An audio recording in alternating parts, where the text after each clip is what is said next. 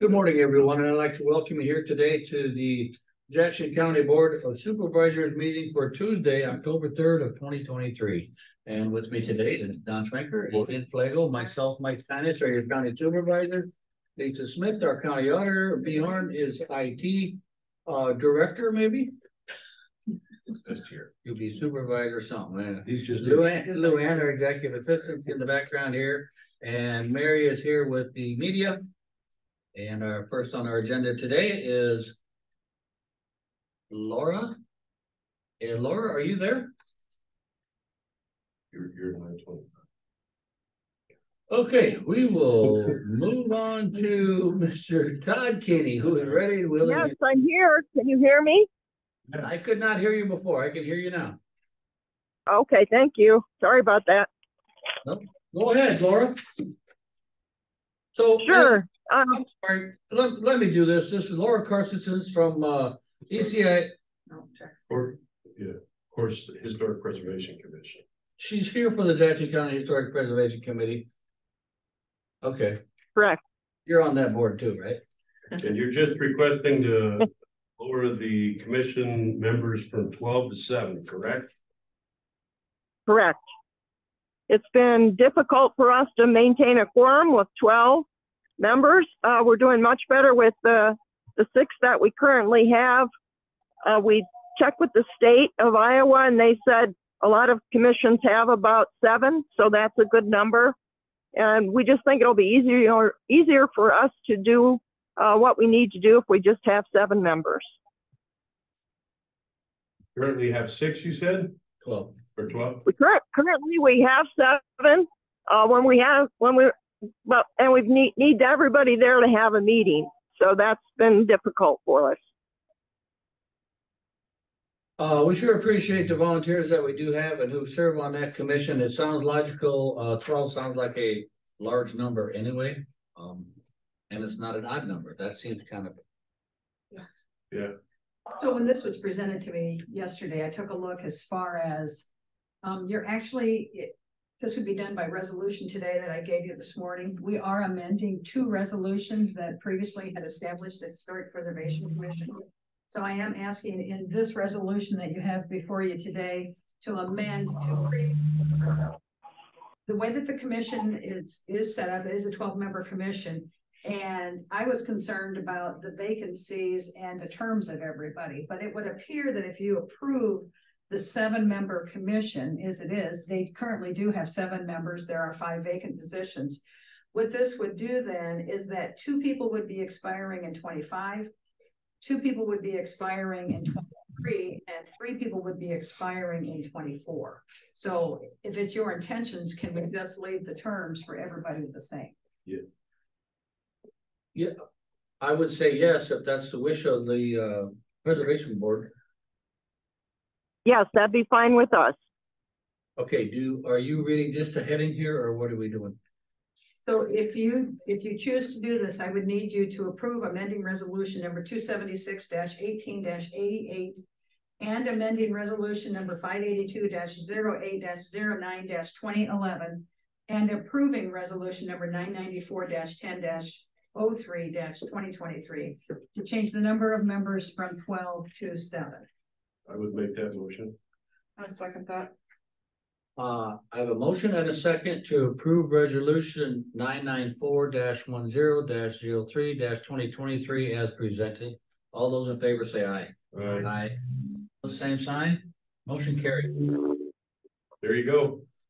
Okay, Laura, any Thank other you. business for us today? No, just a big thank you. Bye-bye now. Yeah, and then pass our, uh, pass our thanks on to the board and commission that, uh, we appreciate what they're doing and hopefully everything goes well for you. Keep going. Stuff. Yeah, not one. Well, we do appreciate what they're doing anyways. It's, It's it's not one of them highly paid jobs, you know, that people have to do and, and, uh, don't have to do, but we appreciate them volunteering and stepping forward. So anyway, we will move on to Mr. Todd Kenny, our Jackson County Engineer. All right, good morning. Good morning, Todd. So first on the agenda is a uh, a utility permit for Preston Telephone. To bore uh communication cable fiber optic Uh, basically under Forty Fifth Street to go to service a, a bend site. So, I don't see any issue with it, just I would recommend approval. So moved. Second. Motion and a second to approve, uh, Preston Telephone Company, uh, bore fiber optic line at Forty Fifth Street as presented. All those in favor say aye. Aye. Aye, opposed, same sign. Motion carried. All right, next is a, a, f- um. A second entrance on the north side of one hundred fiftieth street, a class C farm entrance. Um, the site business checks out good both ways. Don't see any issue with it, recommend approval. Motion to approve. Second. Motion and second. Is this for Daniel Weaver? That's correct, one of them. Okay. Yeah, yes, yes. yes. And, uh, motion made, uh, motion and a second to approve Daniel Weaver from Farmers Creek, section twenty-second entrance. Um, on Hundred Fifty Street as presented. All those in favor say aye. Aye. Aye, opposed, same sign. Motion carried. The next two are for Lawrence Deppy. This one is for a class D field entrance. Um. This one, the, has limited sight distance on one hundred eightieth. Um. So to be sign required uh from the west approach. Possibly from both approaches, but for sure from the west. I need to verify that distance on the. it Says three hundred ninety-five feet. Um that would be marginal, so we gotta, I would need to decide whether we need to put up two hidden driveway signs, one from each direction, so. But one is definitely gonna be required from the west. And whose expense is that? For the policy, this is the landowners, Okay. Motion to approve. Second. Are we approving just the one? yeah, just the I one, Have a motion and a second to approve, uh, Lawrence Deputy's, uh, permit for field entrance on the north side of Hundred Eightieth Street. As presented, all those in favor say aye. Aye. Aye, opposed, same sign. Motion carried. and the next one's for Lawrence Deputy as well, uh, on two hundred and fiftieth Avenue, that one is, site distance is fine, so no issues with that one. Recommend approval. Motion approved. Second. Motion and second to approve Lawrence Deputy Richard sec- section for thirty-three. Field entrance as presented. All those in favor say aye. Aye. Aye, opposed, same sign. Motion carried. Okay, uh, next is the, uh. Discussion, uh, to accept, motion to accept employee resignation. Oh, you don't know who it is? Yeah, I do. Oh, okay, Well, you got your pulse to the community, or I don't know, that's saying it politically correct. I Uh. Yeah, so, uh, I can say the name, right? Yeah. Kevin Coos, Cub, um. Contacted us last week and he, you know, for various reasons, he wants to, uh. Uh, res- resign his position and, and do some other things and take care of some family stuff, so. You don't have any effective date. Um, yeah, I should. I can get you that. Okay. It's, he didn't, I thought you had a copy of the actual resignation. I don't have it with me. So yeah, I'll get you that date, but uh, it's, it's two weeks from now, basically. From Two weeks Friday. from now or from last week? Thursday. From, I think it's two weeks from. He was off last week. He was starting his two weeks last week, so I believe it was from last week, but I can get you that date. And then he was, And- last day would be like this Friday. No, he's got, he's got a. He was taking his time. Uh, and comp and everything, and it- I think it pushed him out. It was, uh. It was gonna be just over two weeks, I think. And so we would proceed with posting. Yeah, so basically you accept his resignation, that basically, uh. Creates a vacancy. Creates a vacancy so we can post it. We'll do is probably, I mean, typically you would do a resolution to remove him from payroll. If you, well. You guys do that by motion, I assume? We do, we do. Yeah, so when that comes, when I get his final date, we'll do a motion to remove him from payroll, but this basically resignation allows me to post the position. Internally. Motion to approve. Second, I Have a motion and second to approve the employee resignation of Kevin Coos. Um, effective as stated. All those in favor say aye. Aye. Aye, opposed, same sign. Motion carried. We'll make that resolution, remove him from payroll next week, I'm assuming. Motion. We'll do a motion next week to officially review them then. Uh, real quick too, on 49th Street Bridge, uh. S two is supposed to get in there and do the grading today or the rest of this week and then guardrail next week and should, hopefully, knock on wood, it'll be open by the end of next week. 49th Street. That's the Uh, one down by Preston. no, that's the one over north, uh, northwest of Miles. Oh, okay. That's the one, the straighter, that's the contract labor bridge. Uh, the, the one down by Preston, uh, north of sixty-four. They, they drove the abutment pile, I think they got some wing pile to drive yet, so it'll be another couple weeks yet before that one opens. But, uh. We're gonna have Alex come up. Jaden's taking his two-week class, he's considered a team leader, so we have to do these Form one oh sevens, basically it's a form you send to the DOT to say, hey, we have a new structure to put on the inventory. So Jaden will take care of doing those forms. When Alex comes up to do the initial inspection where you have to input all the data for the new bridge. Alex will help or walk Jaden through that for the, for 49th Street Bridge and for the Otter Creek Bridge. Um, on two oh eight Street, because those two will be done. And then from then on, uh, Jaden should be able to do the initial inspections for each bridge we get done, so. Um, and then as far as retrieval work. Um, looks like we only have about, we have like nine miles left to do. And I need, I got a couple of questions I need to talk to Rick about when we meet, we got our safety meeting this morning, so that's why I'm kind of rushing through this to. Yep. To get over there, but, um. So far, I mean, if you recall way back when, I thought we would be doing this till the end of October. Uh, on wood again, we should finish ahead of that, um.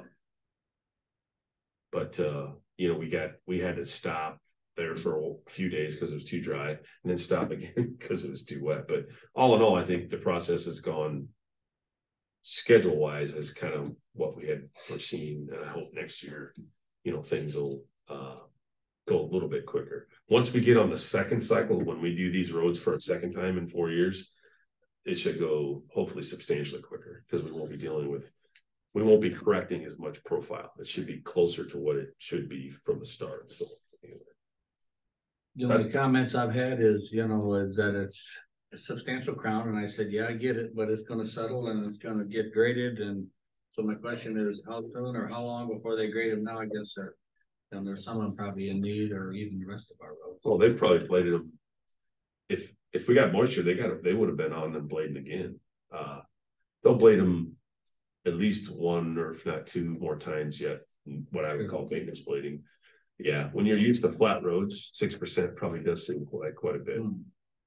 And that's a concern for the winter time, you know, and I said, well, it should be much easier to surface some gravel with a, with a crown on it anyway. Yeah, it's harder, it'll be easier to scrape up rock in the middle when you actually have a, a middle that's raised instead of a middle that's lower, but. Um, Appreciate it. all right, Thanks, Todd. yep, thanks. And we will back up a little bit to Mr. John Keys, our Jackson County Attorney. Good morning. Hi, morning, board members. Uh, Thanks for. Uh, thanks for, thanks for squeezing me in. Um. If I could just set up just real quickly, uh, the reason I asked for a little bit of your time today. So, uh, some of the residents that live in the Bellevue area along the, uh, the train track and the proposed, uh. New siding, I have been talking to my office. The Hammonds have been sort of been the spokesperson for those, uh, couple hundred people. And of course, along with other issues, they're, they're concerned about, um, the additional horn no, noise that would be caused maybe up to sixteen times a day. And so just as part of my duties, I contacted, um, the attorney for the railroad that we've been using, I think. Um. You folks might have met her in Bellevue, she was down there at one of the meetings. And, uh, I asked her, I said, listen, is there anything you can do about that? Can you create a quiet zone? Uh, I know this is probably uh, federal regulation, but, um, you know, we're concerned about there. Is there anything you can do? And she said, well, I gotta talk to the legal department. Let's, let's. I'll get back to you. So she gets back to me. And she said, it's, it hinges on whether or not they classify those crossings, and there's, I think there's two of them. In particular, we're talking about is public or private. Normally, they make them public, and then they get some federal money to help maintain them they said, since they're on private roads, we could keep them private, and then we don't have to blow the horn. Uh, but again, this is the issue. I think you guys had uh, been approached once before by the railroad saying, would you take over those roads we're gonna build? And of course, the county said, well, why would we? So Right? I'm gonna back up a little bit here. So I'm not saying they're private now, because two of them crossings are on county roads. You misunderstand me, Mike, and I'm not disagreeing with you at all. I'm talking about the railroad's classification of them. Okay, Maybe that, is not gonna change where they are or what they're doing. I'm just telling you what, what they're telling me. They're saying if we, if we can, we can. They can keep them classified as private, they lose a little bit of federal money, but they're like, we'll still maintain the lights and the, the bars anyway. Uh, but of course, what they want on our end, of course, now they say, well, we don't have any snow keeping equipment in this area. Can, will the county be willing to pick up the, the maintenance of the road? And I know that's an issue you guys have talked about before, and I don't, I'm not trying to make you revisit something you made a decision on. But I don't think you had, uh, the input from, from some of the, the members in the area, so I just want you to have all the information. The two crossings that I'm aware of, was it three thirty-fourth street? three, three ninety-fifth and three thirty-fourth, maybe, I don't know. what Three that is. ninety-fifth is way up in the north end, Right, but that's. no, it's the south end. So- It's right by Spruce Creek across, that's the three But the ninety-fifth. one they're talking, is, aren't they trying to put in that one that we didn't accept responsibility for, that's more towards the north? It's way north, yeah. And the, yeah, the And the Hammond's- reason, reason we didn't accept responsibility for it is. Um, it's not big enough, there was concerns about getting fire trucks in there and yeah, I completely, I a little completely bit of understand. concern with that Maintain, if, just holding the road even, I Right. think. Right, concern with that Right. is. If we accept that, that makes them less likely to keep three thirty-fourth open. They can keep it blocked more. right, right, so of course. My only goal here is to get the parties together and see if there isn't a compromise, if there's some way that these couple, two, three hundred residents can have a little peace and quiet. And at the same time, the county does their due diligence and makes them build it to a certain standard where it's even acceptable that you might wanna do that. Okay, so So- that has to do with our engineer and secondary roads. So it was, it was under his recommendation that we did not take it over, maintain it. Yeah, So my question is, or my thought process is thinking on this, if they make it private, what's our cost of maintenance? Is there a cost to us? Because now it's private and uh, so we got maintenance costs and we've got uh track issues and approach issues and I'm assuming that they maintain X amount of feet on either side of the tracks. So, and my second thought process is just thinking about this new road that they're putting Mhm. in. So that whole road that they're connecting with is a private road.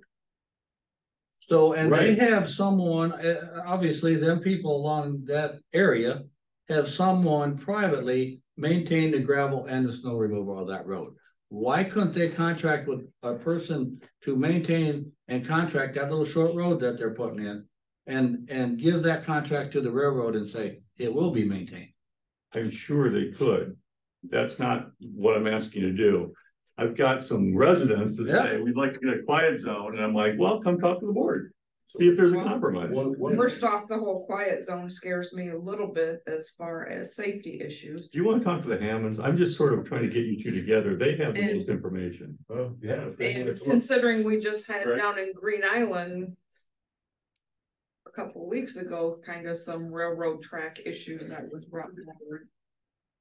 For safety concerns. Good morning. Good morning. Do you guys know Greg Hammond? I do know, I do Greg. not. Okay. Nice So to if you meet just want to introduce yourself, Greg, and Yeah, I'm Greg Hammond. I live um just north of uh. In in a Mississippi Ridge subdivision, just north of that new north road they're talking about putting in that's currently unnamed. So um, and then I grew up in Bellevue as a farm kid north of town, went to high school there and all that. So. Anyway, um, I know a lot of the folks and people have been complaining about all of the train and horn noise. As they come through Spruce Creek and and south of Spruce Creek. And so they do have track crossings there. And they would, they started talking about maybe we could get the quiet zone from Bellevue extended out north of Bellevue. And that would allow us to sleep at night, quote unquote, literally, because it's so loud that it's waking people up. And there's almost three hundred homes along that area that are impacted by it. And so I, I came to talk to John originally about, hey, could we just get this thing as a quiet zone? Going north, and then he looked into it and it looks like the negotiating point. Um, is that if we would, if the county would maintain that little patch of road, not the private road across the tracks, because they've already got Smiths Ferry folks do that. But the one um that would connect up with it and then go up to the road for emergency purposes only. So those gates would be down, according to their railroad supervisor, all the time unless there's a train on that side track. And, and he anticipates there being about an hour a day of a train on a side track. This road is very seldom gonna get used, but when it does get used, um, then those, those railroad bars will go up and people can exit out through there.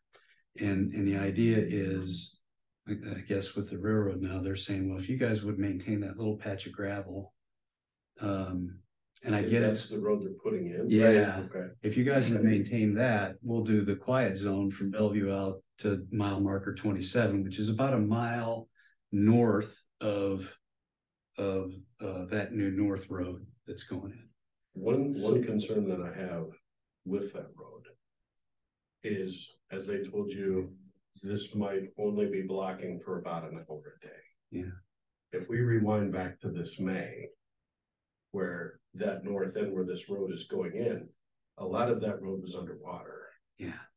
And then they block three thirty-fourth for an hour a day. You guys literally can't get out. Yeah. You can't get in.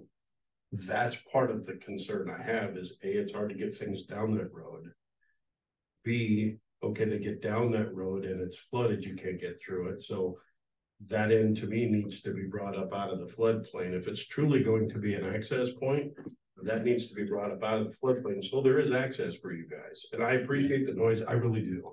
I didn't like this going in there, but we don't have any choice, they're just doing it, We I know. could, and. we could make them build it to a standard. Well- Agreement. I want you guys to have access, and if they block it an hour a day, at what point in time do they just decide it's really convenient not to unhook our? We're only gonna be there two hours, why, why do we really gotta unhook? We can just send you guys to the north and. It, it really limits your access, and that's more my concern point. point, plus, when we got fire people saying. We can't really negotiate down the, the way they are building it. It's not feasible to bring our snow removable equipment down there, fire trucks down there, ambulances down there it's not a wide road that they're building, so it's about half of what it probably should be. And again, that's us then accepting the liability and the expense to make it more accessible. So our things can go down there. And if this is something they truly want, it should be brought up to a twenty-four foot wide street, just like our gravel road, so. There can be accesses, it needs to be out of the floodplain. So in the springtime or whenever, when there's flooding going on, which we had a significant amount, now again, that's rare. Yep. But there would have been no access Yeah, for at least an hour a day or so, or. And who's gonna regulate that? Those, those are my concerns. I completely, I would love to jump on this and help you guys and make it a quiet zone. But I also don't wanna create other problems in doing so, you know, like access. You know, you're in your house or, or, you know, people in Smith Ferry, they're in their house. Three thirty-fourth gets blocked off and it's flooding, they can't get out, Yep. oh, I totally get it. you know, and so. So uh, they had told us that they're gonna build that up or extend that uh double tube that's in to the north of the three thirty fourth. Um, they also um told us at that meeting, which was a year and a half ago, we never spoke with anybody since until we see bulldozers and stuff coming in, you know, so. Yeah. The point is, they said they'd never good. block that crossing for more than fifteen minutes or they'd split the train. But whether that happens or not, I don't know. So my point is.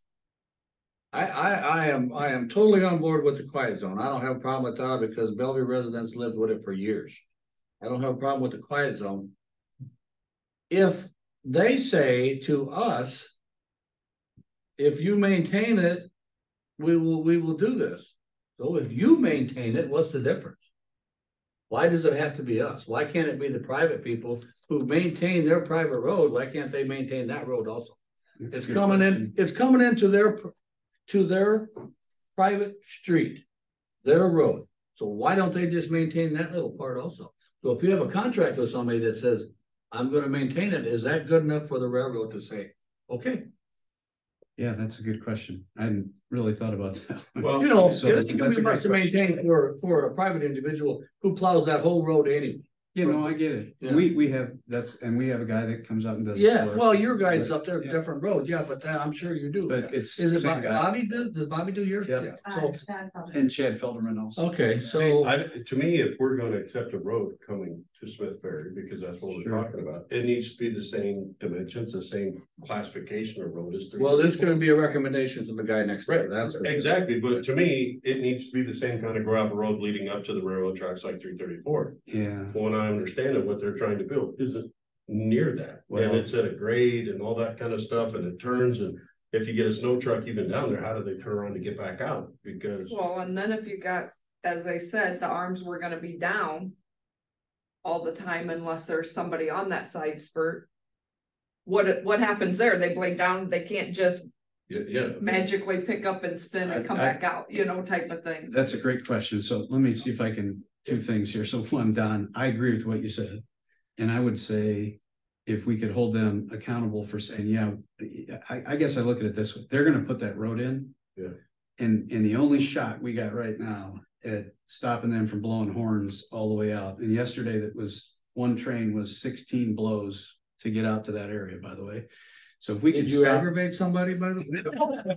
God, I hope not. I don't play very good golf. I only play about three times a year and I was out there, so maybe I hit a ball the wrong way or something. I don't know, but, but they, you know, they blow a lot going out there. Sure. And, and I think, um, the only shot we gotta getting that fixed is right now. And, and it seems like that road is a leverage point with them.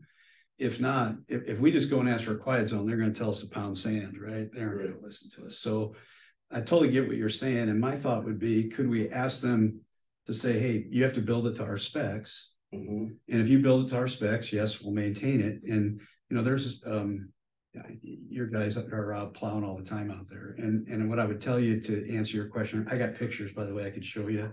So I've got copies of it. I'll give you guys, but it, they are talking about having that road and maybe just hand the pictures out here. I'll give you two copies here. Well, yeah, I mean, we've seen their projections on it and Here's, um, and so what I would say is if they could build it to spec, sorry, I didn't mean to interrupt. No, you're If- If they could build it to spec. That you guys would approve, it's only gonna be about seventy foot road and your guys are going out there anyway. And there's a flat spot at the bottom of the hill and I would just tell them as part of the spec. They have to build a spot that the s- snowplow could turn around. That's the actual hillside. So this is my little explanation, in for what it's worth. And it's, um. And then there's a picture of, and I, I'll block you guys through, you guys need copies too. If you would, thank you. I, I still would like you, Greg, to investigate the oppor- uh, the possibility of. Having a contract with a private individual to maintain that. I'm guessing that road's not gonna be. I, I, I'm just, I, for some reason, I'm, I wish, I don't know if Todd's still here, but.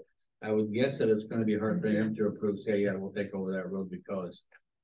Well, again, I want Todd to approve it, but I think if it's the county standards. And to me, there's two things, that road needs to be the county standards, the Yep. county road standard, and B. The elevation on the other side of the track that guarantees you guys won't be flooded in or out. And I understand you guys are north of there, so you're not affected, No, but but everybody on that road, Smith Ferry. I have a lot of friends there. If So they, if they're blocking three thirty-four. And the front is flooded or whatever, you can't, they can't get in or out. Um. Yeah, I am a little concerned because of railroad, I've sat on a meeting where they said, if that's blocked more than fifteen minutes, they're gonna unhook.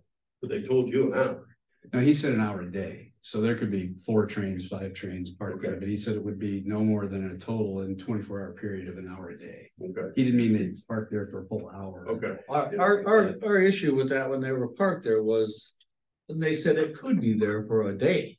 Yeah. You know, or Oh, two. Geez. But yeah. then they would split it, of course, you Yeah. know, but it's a siding, so it's basically another train go by and they take off, so Yeah. that's what it.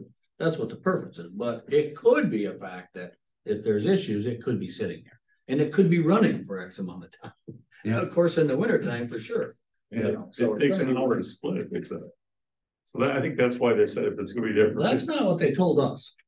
Yeah, it takes an hour to split. So then I read articles that there's no engineer on these trains anymore. Who's splitting this thing? I don't know. I don't know, I have no idea. Yeah. Well, if we go with Mike's plan, I don't think we have any leverage to make them build it to specs.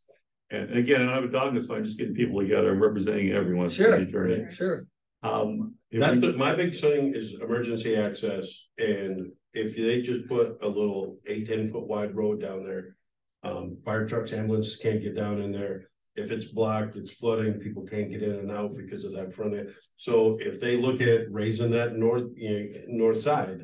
Um, and this is kind of a problem of their own making, because they, they said to us, well, from three thirty fourth, if you come in there and you go north, some of that road floods and that's the way it is. Yeah, but they can get in and get quite a way to their vehicle. Yeah, Everybody south of there can get in just fine. absolutely. Actually, two thirds of those residents don't Yep. have a problem when it's flooding. Yep.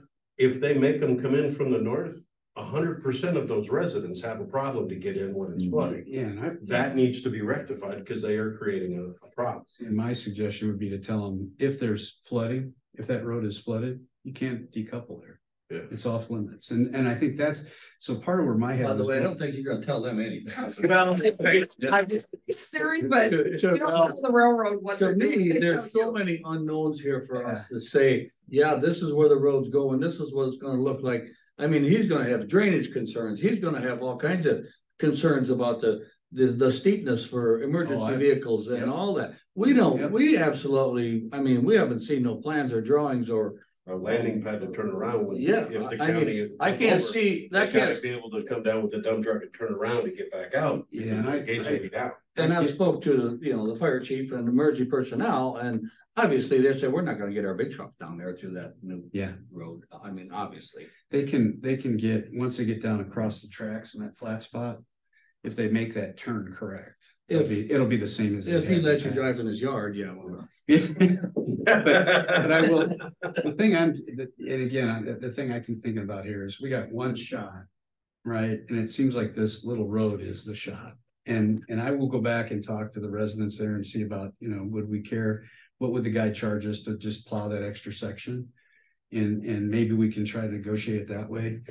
Um, the other side of it is if- if, and, and I know we can't tell the railroad anything. I was sitting in one of the Bellevue meetings when they stood up, said we have more attorneys than you go for it, right? So I remember that one. I, I get it.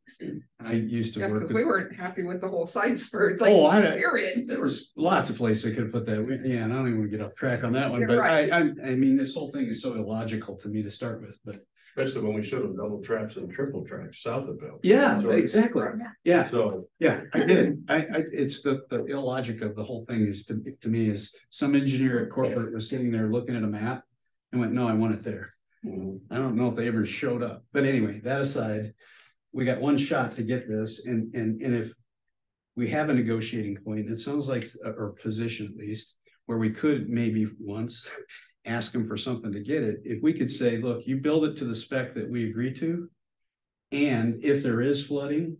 And that section of the track is flooded, you can't, you can't use that side track until such time that residents can get in and out without flooding.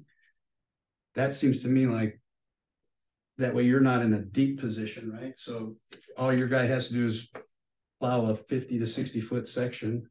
Turn around and go back out and they're out there plowing north anyway, so he'll come right off.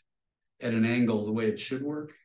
Just I used to snowplow, so I know a little bit, not much. I was pickup truck snowplow, so very different, but. But I do know a little bit about it, and if, and if they build that to spec and he could just kind of slide off that side and come down and dump it and spin it or push it and spin around and come back out, not too bad. Um, but they have to build it right. And that's where your guy, your. I think engineer we might is have gonna find it easier to negotiate them to actually bring that road up because that's a one-time fix and they're done versus, oh, it's flooding, we Well, can't may- do this, we can't do that. That's an ongoing. Or, eh, we don't care if it's flooding because we're only here for a little bit, you know, type of thing. Um, I'd actually start for the the, the fix the road Yeah. kind of thing, I like it. you know, Does just. be- private, does private plow north of that three thirty-fourth too, uh, winter? No? Ain't there no full-time residents, is it home and homeless or full-time? You just four-wheel drive through there. Okay. So they just go south from three thirty-fourth? Okay. No, I would, I would actually look into the, you know, if they could sign a contract with a private individual to clear and maintain that road, I mean, it wouldn't be much of a. Job for him to do, there ain't gonna be traffic on it, basically. And they may not care, I can take that to them, but, and they may just say, great. We'll start doing contracts, but just so everyone understands, if, if those are my marching orders. then we lose any leverage to make, make. To give them our specifications and make them build a bigger road. Well, let's see what kind of interest we get before we lose, I mean, we're not losing any leverage, leverage until, I, I'm all for the quiet zone part of it, but. I'm not willing to, at this point, I don't have enough info or even specs on this road to say. You No, I understand. I Well, understand, to Mike. me, I think if they, if they go with the private, if they go with the, we just get a private guy to pave the, or to plow this road. Um, it's not a county road. Any problem that is derived therefore is of their own creation. And the county has no liability with them whatsoever. So if they're blocking a track and it's flooded, they can't get it out of there, they accepted that, and there is no fixing it at that point.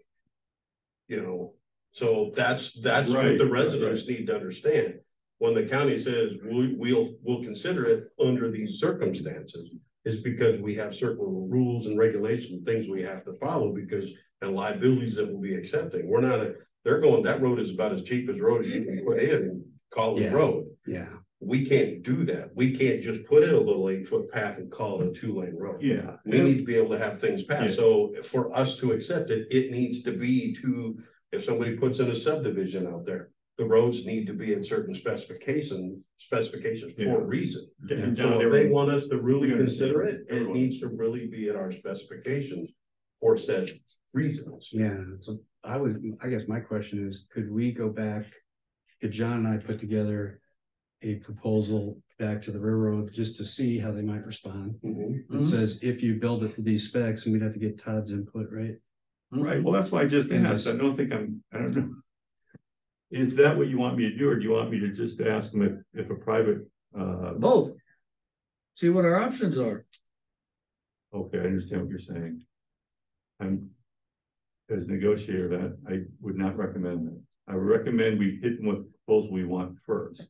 And not the, the easy, if they can do a private grader, if we can have a private individual grade, if the railroad is gonna say, fantastic.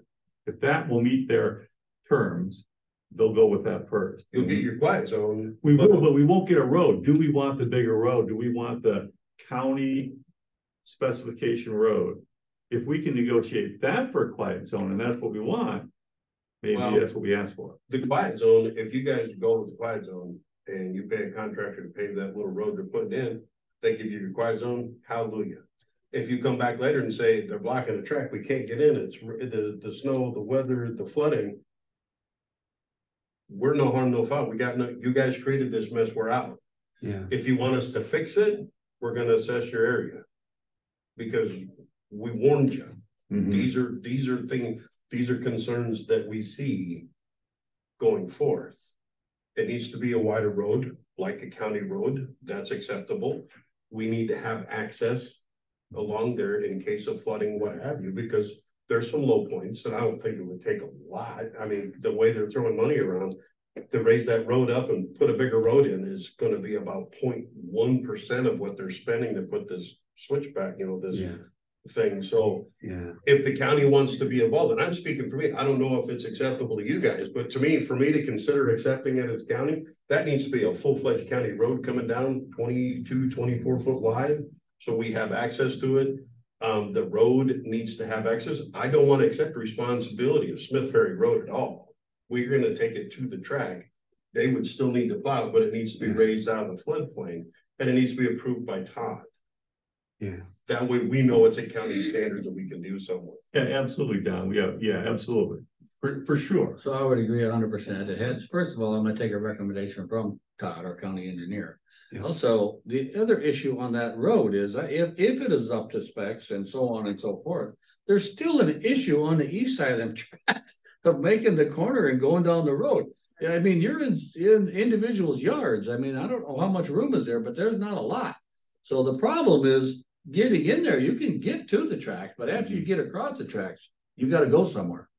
It Well, sounds like Mike's saying you, don't- you don't think the county would, even if they built the road up to the county specs, you'd prefer the private snow plowing. Is that what I'm hearing? I Well, I and would prefer that. I don't really need And another no- road, especially up, down, going down in there. I- not to leave them blindsided either. I mean, there's more than just the snow plowing that's gonna go with it. You're gonna it's Maintenance, have the Sure. routine maintenance Yeah. of it also, so gravel coming in and yeah.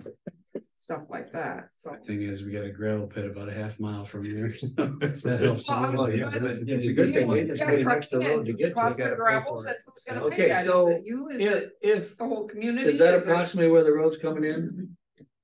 So this Okay, tree so if you still look, here. look above Yeah. you there, Greg, What they told me was, Greg, if you look above you, oh, yeah, they told me that it was between these two trees. Now, maybe he meant these two trees, because that looks more okay, logical. again, but- once you get across that track, there's not a lot of room for a, a large fire truck or. Um, if you look at my picture, and it doesn't do a great job, but this area right here. Is all kind of dug out, but when they came through and did all their work. They did, they just kind of bulldozed everything out of there, so there's not a whole lot left down there now, and that's where I was saying, when I walked, I walked down and actually looked at it. And it appeared to me is over in here, that, yeah, this looks like an older picture, but it appeared to Yeah, me, cause this is all dug out now.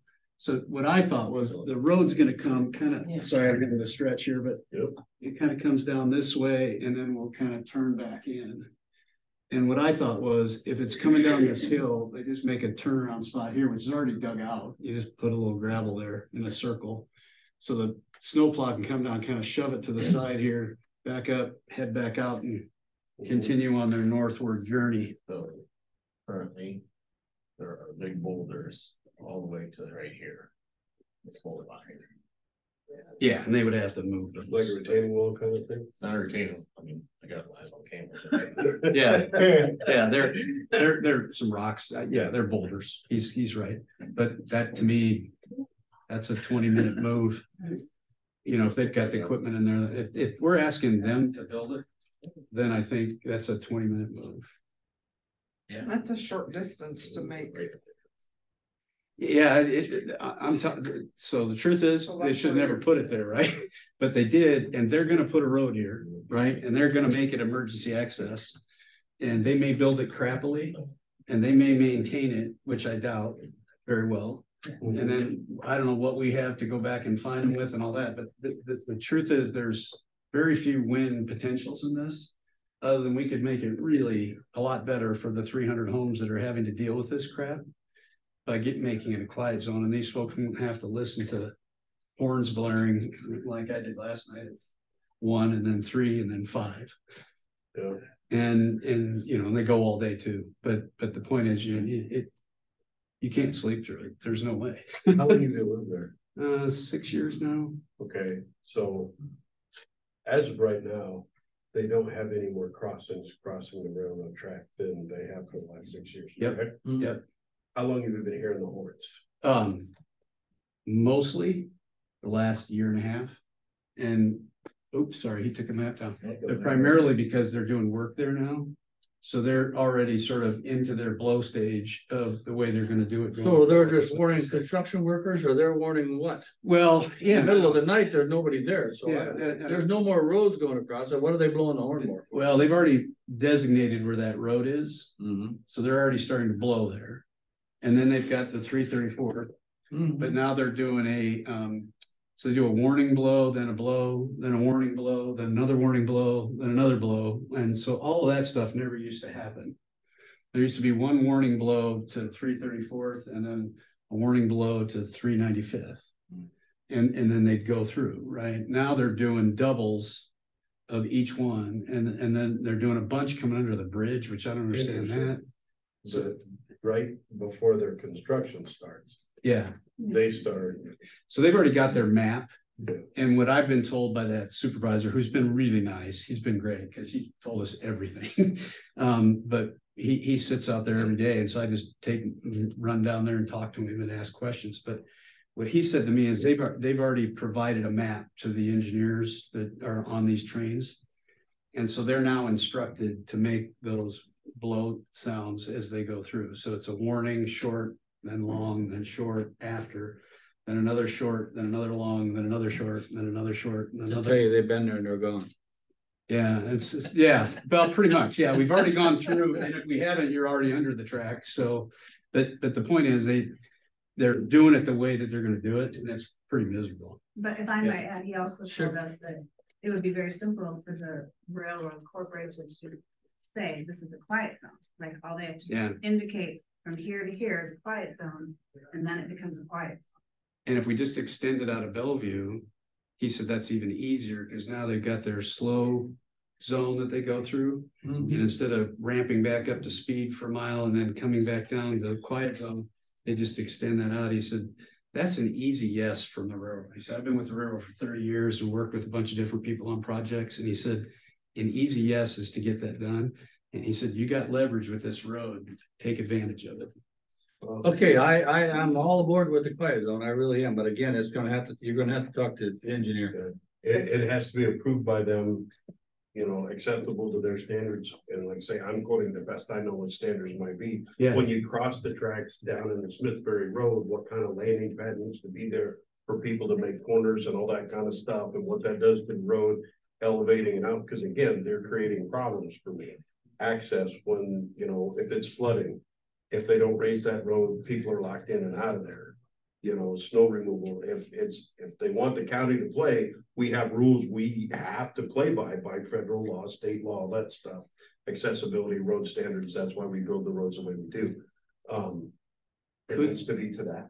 Could they, Don, do the? It has to be the spec just down to the track, because it's already established across the track, right?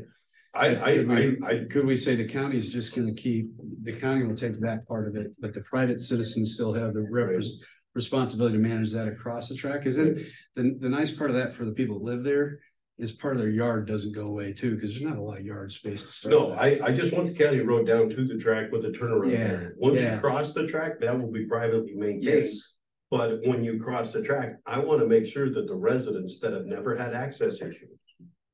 Flooding or otherwise. Yep. Don't all of a sudden get flooded out of their property because the road floods. and that's where I was thinking, since we do have a little leverage, we just add to the request. It has to be built to our specs down to the track. And if there is flooding, you can't block Smiths Ferry Road. You just can't. You can't that- use that You sidetrack. could approach it that way to build it to specs Well, anyway. you would because say you either can't block Whether it's- or just bring this up. Whether it's maintained privately or not, we want it built to specs, so in, down the road, we may take over ownership or maintenance of it, whatever, but it still should be this, built to specs either way. Yep. You know, I mean, we, if, if they have no, uh, EMS protection or fire protection for X amount of time, if the road is, if three thirty-fourth is blocked, then, you know. Well, I think that's the win of the county having it. Cause now you do have EMS capability. If, if we just say we'll make it a private road and make it eight or twelve feet or whatever it is. You know, we could try to make it wide enough for the EMS. I, I don't know. You know, we could get the railroad to maybe build it to a spec where we could at least get EMS up in and in out of there and make it private where we pay for it. That'd be the other option. Again, I think there's a lot of input from our engineer on. on- Yeah, I think like- your next stop would be talk to Todd. and see Yeah. What would be more acceptable to him because it might not be the width of the road, it might be the grade of the road, Yeah, you know, type of yeah, thing. yeah, I'm know? not a, yeah, I'm. So that's that out would my- be a conversation I think would be know valuable. s- What the Thank you. slope Yeah, or what because the, that was kind of a pretty hard. No, we don't want that.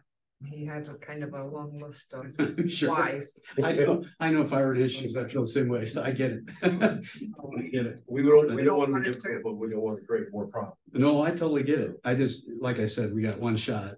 Cause they're gonna do it anyway, right? And they're either gonna build a crappy road that we're all gonna deal with. Um, and, and then have trouble getting EMS in and out of there. And if they have a thing, eh, so we got a shot to kind of negotiate this to a better position for us in a lot of ways. Which is build it to spec and you can't, if it's flooded over there, you can't have a sidetrack car. Um, in blocking Smiths Ferry and give it a shot. And all we're asking for in response to that is quiet zone. It seems to me if we could get that. Todd could spec it out and say, this is the way I want it. Mm-hmm. You I guys think go. that's build your it. next step, yep. Okay, sorry. I get your quiet zone too, but I also worry about the safety part of the quiet zones. Well, I- i- i- if You you're know, down but- there, there is no way you can't hear them coming with those diesels anymore. I mean, you could sit in your car with your radio blasting and, and you wouldn't miss them. They're, they're making enough noise that, and, and there's so much reflection down there in sound with the rock. It's, I, I hear them from Bellevue. I mean, I can hear them as soon as they come out of Bellevue, so. Here's my card if you want to. Okay. If you want to give me a call. That'd be great. Thank you. Well, thank you, folks. Thank you. Um, Yeah, good luck. I just, my Get us some more information and yeah, we're, I, we're on board with the quiet zone thing. It's just how we do it. and Best process. Okay, I know there's a lot of strong feelings, so I appreciate you, you giving them the hearing. Yeah, Yeah. thank you. No problem. And who knows? Good luck. Maybe we can work something out that we like and the railroad likes. Yeah, That would be Yeah, that- awesome. that would be awesome. That would be great. That's a compromise. That's a good deal. Right, thanks. I like it. Thank you, guys. I mean, that's, Ned. I it. Smiths Ferry up there is part of our community. You guys are part of our community and we appreciate that, you know. Thank you. There's obviously some tax incentive up there for us, so. Uh, we, uh, we were, uh, Yeah. we were kind of bummed when they came through and plowed all those trees out. Yeah. So, it was- Thank you again. All right, so, um, is there any visitors or citizens that would like to approach the board this morning? Don't see any or hearing any. Uh, have you had any contact with Elizabeth? I'm sorry. Have you had talked to Elizabeth at all? Is she still looking to be here or? This is her request, so.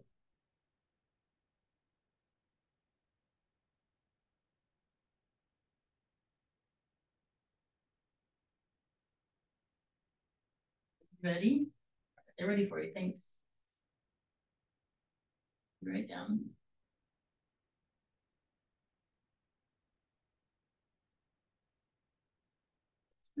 Thank you very much.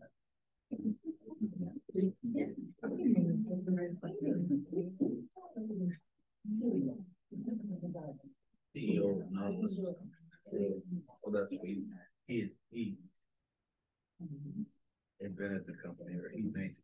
No, that's. what's that? Interesting. Huh? The transfer there before you were, he built that home, I think that's. Yeah. He built the one up on top. And our whole family um, does it. Yeah. One of our family members. Train accident, just two days ago. And by the way, Yeah, well, could be all that. Right, Good morning. So we are joined here by Elizabeth Townsend, our Jackson County Health Administrator. Good morning. hello, Morning, how are you guys? Good. All right, so kind of a department update, um, so we had our Board of Health meeting two weeks ago. So this is the same report that I give them, and then some additional updates just from the meeting. I Um, seen the report online. Was it in our books too? It is, yeah, and I don't know if you guys want me to. Oh, I got it. He's, you still want me to come and do these? Okay. Yep. Okay. keep Um, in contact. Yeah. yeah, yeah, I like reporting to get just. Okay, so for grants to counties, um, so we conducted our first PFAS test. Um, that's a test for the forever chemical. Um, it's approved for through the DNR for our water grant. So we conducted one of those. They're an expensive test. They're like six to seven hundred dollars. So, um, the reason we qualified for that is because we, um, one of the public water supplies over there tested positive for PFAS over in Bellevue, so, um, that's what makes it qualifying. So that opens the door for other qualifying wells to be tested for that as well. Still waiting on the results for it. Um, it's kind of a complex test where you have to test like the air and the water. It Takes some time to do. You can't wear like any lotion or anything like that. Um, because it can easily be contaminated, but. I was- I was excited to do that. Um, We also had some changes, um, that were brought forward to us, um, for the grant this year. They're just being more flexible on what is allowable for expenditures.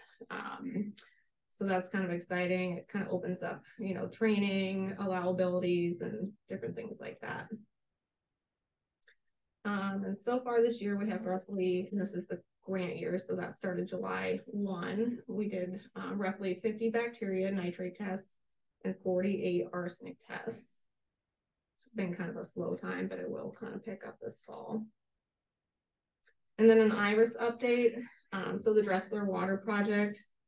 Um, basically, what they're waiting for, they're, they're planning on getting going with it this year, um, but probably they're just gonna, they're ordering supplies, and my thought is they're probably gonna order everything and then start it in the spring.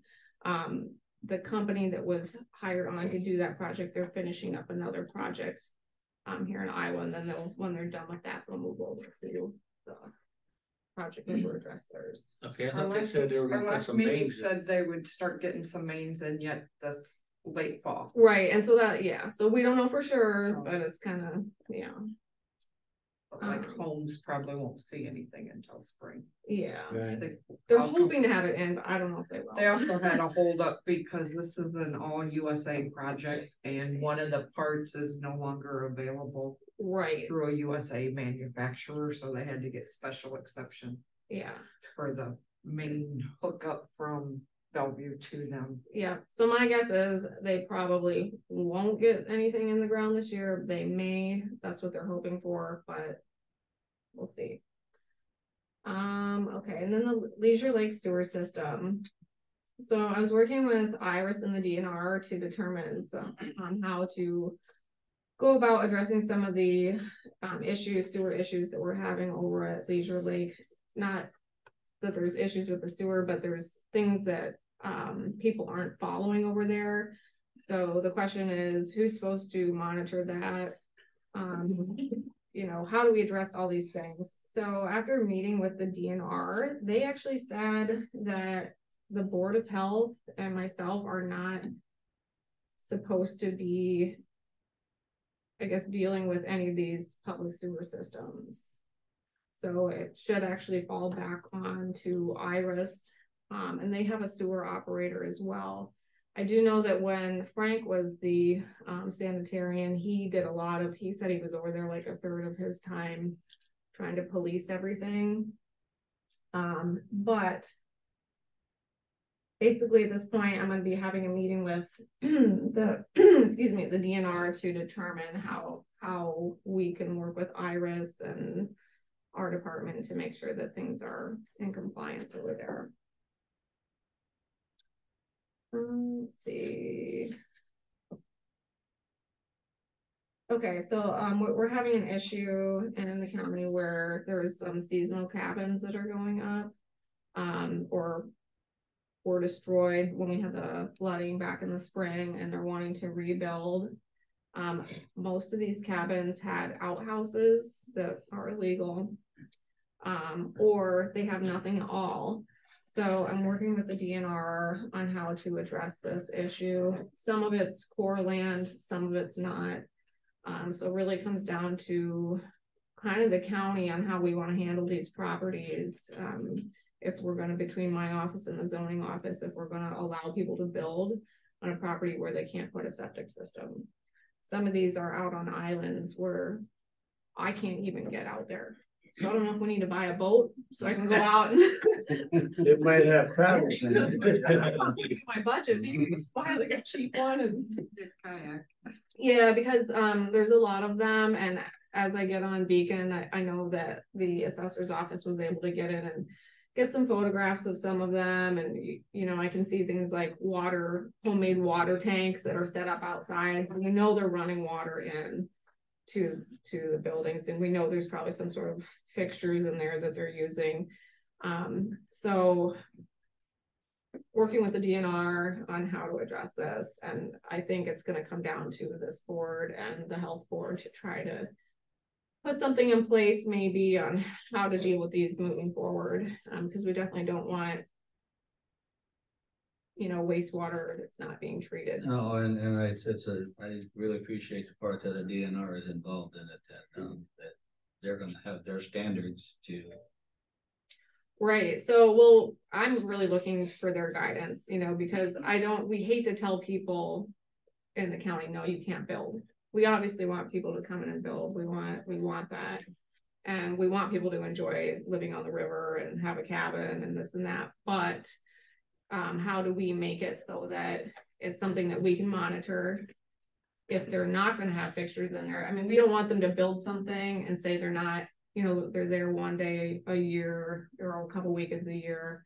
And then they put something in later on and then we don't know about it. So how do we monitor? I think a boat would be an excellent idea. Um, so I do Well, we got drones, so, you know. yeah, so I have to, so it would actually, um, you know, come down to. an inspection of the interior of the, the buildings to make. Obviously, they would, obvi- well, maybe not obviously, but they would think they'd know they'd have to be up to standards. Um, in a, in a facility for waste material, you know. Right, or do we deem things not buildable? Do we deem a site Yeah, not you know, buildable there if you go. they can't get, you know, a septic tank? or- You know, some of these properties might be able to get one out there by boat, but then how do they get it pumped? And I have heard of like pumper boats out there, you know, and maybe it's at the homeowner's expense, you know, that they have a pumper boat from. You know, 100, 200 miles down the river, come up and pump their septic and they have to give us the receipts. So is this not Corps property then either? It's, this is, uh, So we have a few of them that are on Corps property and the Corps is involved, um, and then there's a few of them that are not. And they're all kind of right around each other, they're all down in the Mhm. Sabula area. sure. Not Corps property and other ones are. So one of them's on an island, two of them are on an island, and then right along the river, once you go past that kind of. It's not a true island, but it's. Something that you can't get to except it's boat, boat access only. So. The other ones are the same way, it was property that was purchased from the railroad. Um, you can't get there except for to get on a boat, go over there and walk up over the railroad tracks up to the property. So. Just trying to figure out how to address these, and I think, like I said, it's gonna come down to county. Yeah, we certainly appreciate that. And again, I'm gonna stress the uh DNR. Standards and, and their recommendations, I suppose. Yes, What's the Corps standards for those that are out there on the Corps islands? so oddly enough, it doesn't seem like they have a lot of standards.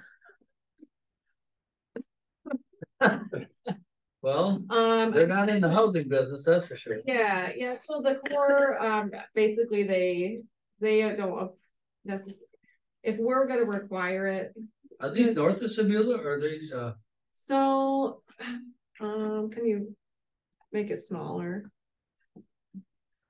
Um, no, okay, so you're gonna go north. Whoa. Sorry. Yeah, so keep, so keep going north, it's, keep going, keep going, so it's this whole thing right here, keep going. Um. Keep going down. Keep going. Okay, so they're right up around here, there's like three little cabins that were washed out, they wanna rebuild, here's one of them. Over here. Um. And they had an outhouse. And apparently the owner had called the Corps and said that the county said they didn't have to have any septic system. So that came back to me and it went to the DNR and I'm, no, you have to have something. I had one conversation with the owner of that one. Um, but then as you scroll over to the west, if you make it smaller.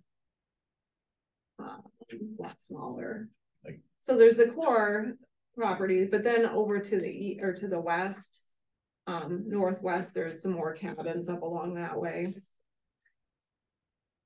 And we have no way to get over, you know, yeah, so they're going up this way, wow, yeah, so they're all along there. And some of them were, I'm like, here's one here, go back there, right there.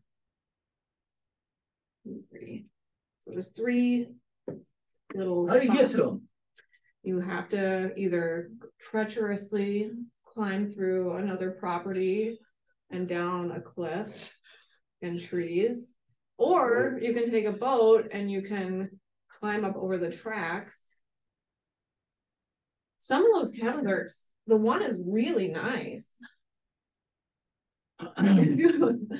Um, So there's no physical road going to them. There is not, and the one, they must have been hauling stuff forever to make it really nice. Um, I, I wanna ask my assessor how he's getting back there. yeah, Probably. So- so what we're trying to determine is, we don't have seasonal, like dwelling, we don't have anything that says, oh, this is seasonal or it's not seasonal, there's really no way to determine if something's seasonal or not, or monitor that. Um. So, you know, we've kind of decided, oh, are, we gonna allow somebody to carry in a five gallon bucket? And use that and then bring it back with them? Um, but as long as they don't have fixtures in there and they're not running water inside, it's not an issue. So that's what we're really trying to find out, but one of, this is the really nice one. Don't some of those, aren't there new things for like some of these tiny homes and stuff that they take around, they got like incinerator bot kind of thing? Yeah, so they will have to have something like, okay, so look, see the, this right here. Uh-huh, This is catching the eye. rainwater, that's the So one. that, for they're plants. catching water and I don't know if there's some way that they're running that into the house. But that's a pretty nice house to not have any running water of some kind in there. Just a fancy tent. I mean, these people might live there year round, I have no idea. So I need to get out, I need to get out there. Boy, If they live there year round under those conditions, then they don't want anybody knowing there. Mhm. Yeah, so this is the really nice one and there's another. There's another one that wants to build that's just south of that, cause they're like, well, our neighbor, the neighboring property is a really nice place and we wanna build the same kind of thing. well, we sure appreciate the update on that and we look forward to how that turns out. Yeah, so we're meeting, I'm meeting with the DNR and the Corps this week. We've already had started discussion and this and that, but it's. Ultimately, I. You're meeting not on site. No, but I do think that I they think are that gonna should get Lori and. I. Somebody from the DNR is gonna give Lori and I a little cruise out there. So that we can kind of, Keep me posted, right? yeah, do you, do you wanna go for a boat ride? I Yeah, mean- well, you know, I didn't. I did. Um, Interesting. but like I said, it's gonna come down to the county with the zoning and the health to decide how we wanna deal with these. And I don't think that any permits are gonna be issued until it comes down to. What this board and um the Board of Health wants to do, and if we wanna determine if something is buildable or not. Appreciate it. Yeah, um, and then just some numbers for you, year to date, septic permits, we've got thirty-four, we've got nineteen well permits, we've got one geothermal permit. Um, we've got seven well rehabilitations, we had twenty-eight animal bite cases. Um, one time of transfer inspection that I completed. I thought that I'd be getting more, but I don't have a pumper truck, so it kind of limits things. Um, thirty-seven time of transfer reports and two binding agreements for future installation. Now she wants a truck in. No, Yes, truck and a boat and one of those things to pull the soil on. The soil testing, I will say, has been going well. Like there's, uh, we've had a lot of contractors. like wanna the boring, yeah, Yeah, so I mean, they're, we're four hundred dollars. Trench. yeah. Yeah, so I think possibly next year we might charge a little bit more. Um, just because, well, so. Too much. So I think, so because they're, otherwise we're being too competitive by being, I didn't think people would pay for this. But they, they want the county to do it, so, yeah, Keep up the good work. yeah, thank you. Alright, that's- Appreciate the report and, uh, yeah, yeah, like Don said, keep up the good work and looks like you got things on track anyway. I might put one out We there. All right, thanks. Thank guys. Thank you. All right, so we have some visitors here. Would, uh, would you two kindly yield your time? Absolutely. Thank you. Uh, Jane? I'm not, uh, Good morning. Good morning. Morning. I'm not Really, going Jane? to, uh, yeah, and I'm sorry, Ron Elizabeth today. Yeah. So I'm not gonna destroy your last name. I'll just let you Oh, okay. introduce yourself. Hi, I'm Jane Drapeaux. I'm the CEO of HACAP and I'm fortunate to have Ronald Clark with me this morning, our local uh county coordinator. So uh we're here to talk about our leads that we have with you, but we also would like to share some uh highlights of HACAP and the services that we provided for you and the lead here as well. So uh we served one thousand eight hundred and eighty-seven people living in nine hundred and sixty-one households. And I'll give you a copy of this handout as well too. Uh, between October first of twenty twenty-two and September twenty-fourth of this year. That's a two percent increase in uh services from the previous year. Fifty, five hundred and thirty-three households, or fifty-five percent of those live in absolute poverty. They have a household income of the uh median income wage, less than the median income wage. which is an estimate of uh, uh, us uh, determining uh, needs within the county. In uh, two thousand twenty-two, we gave out a record number, record high number of assistance to clients in your county.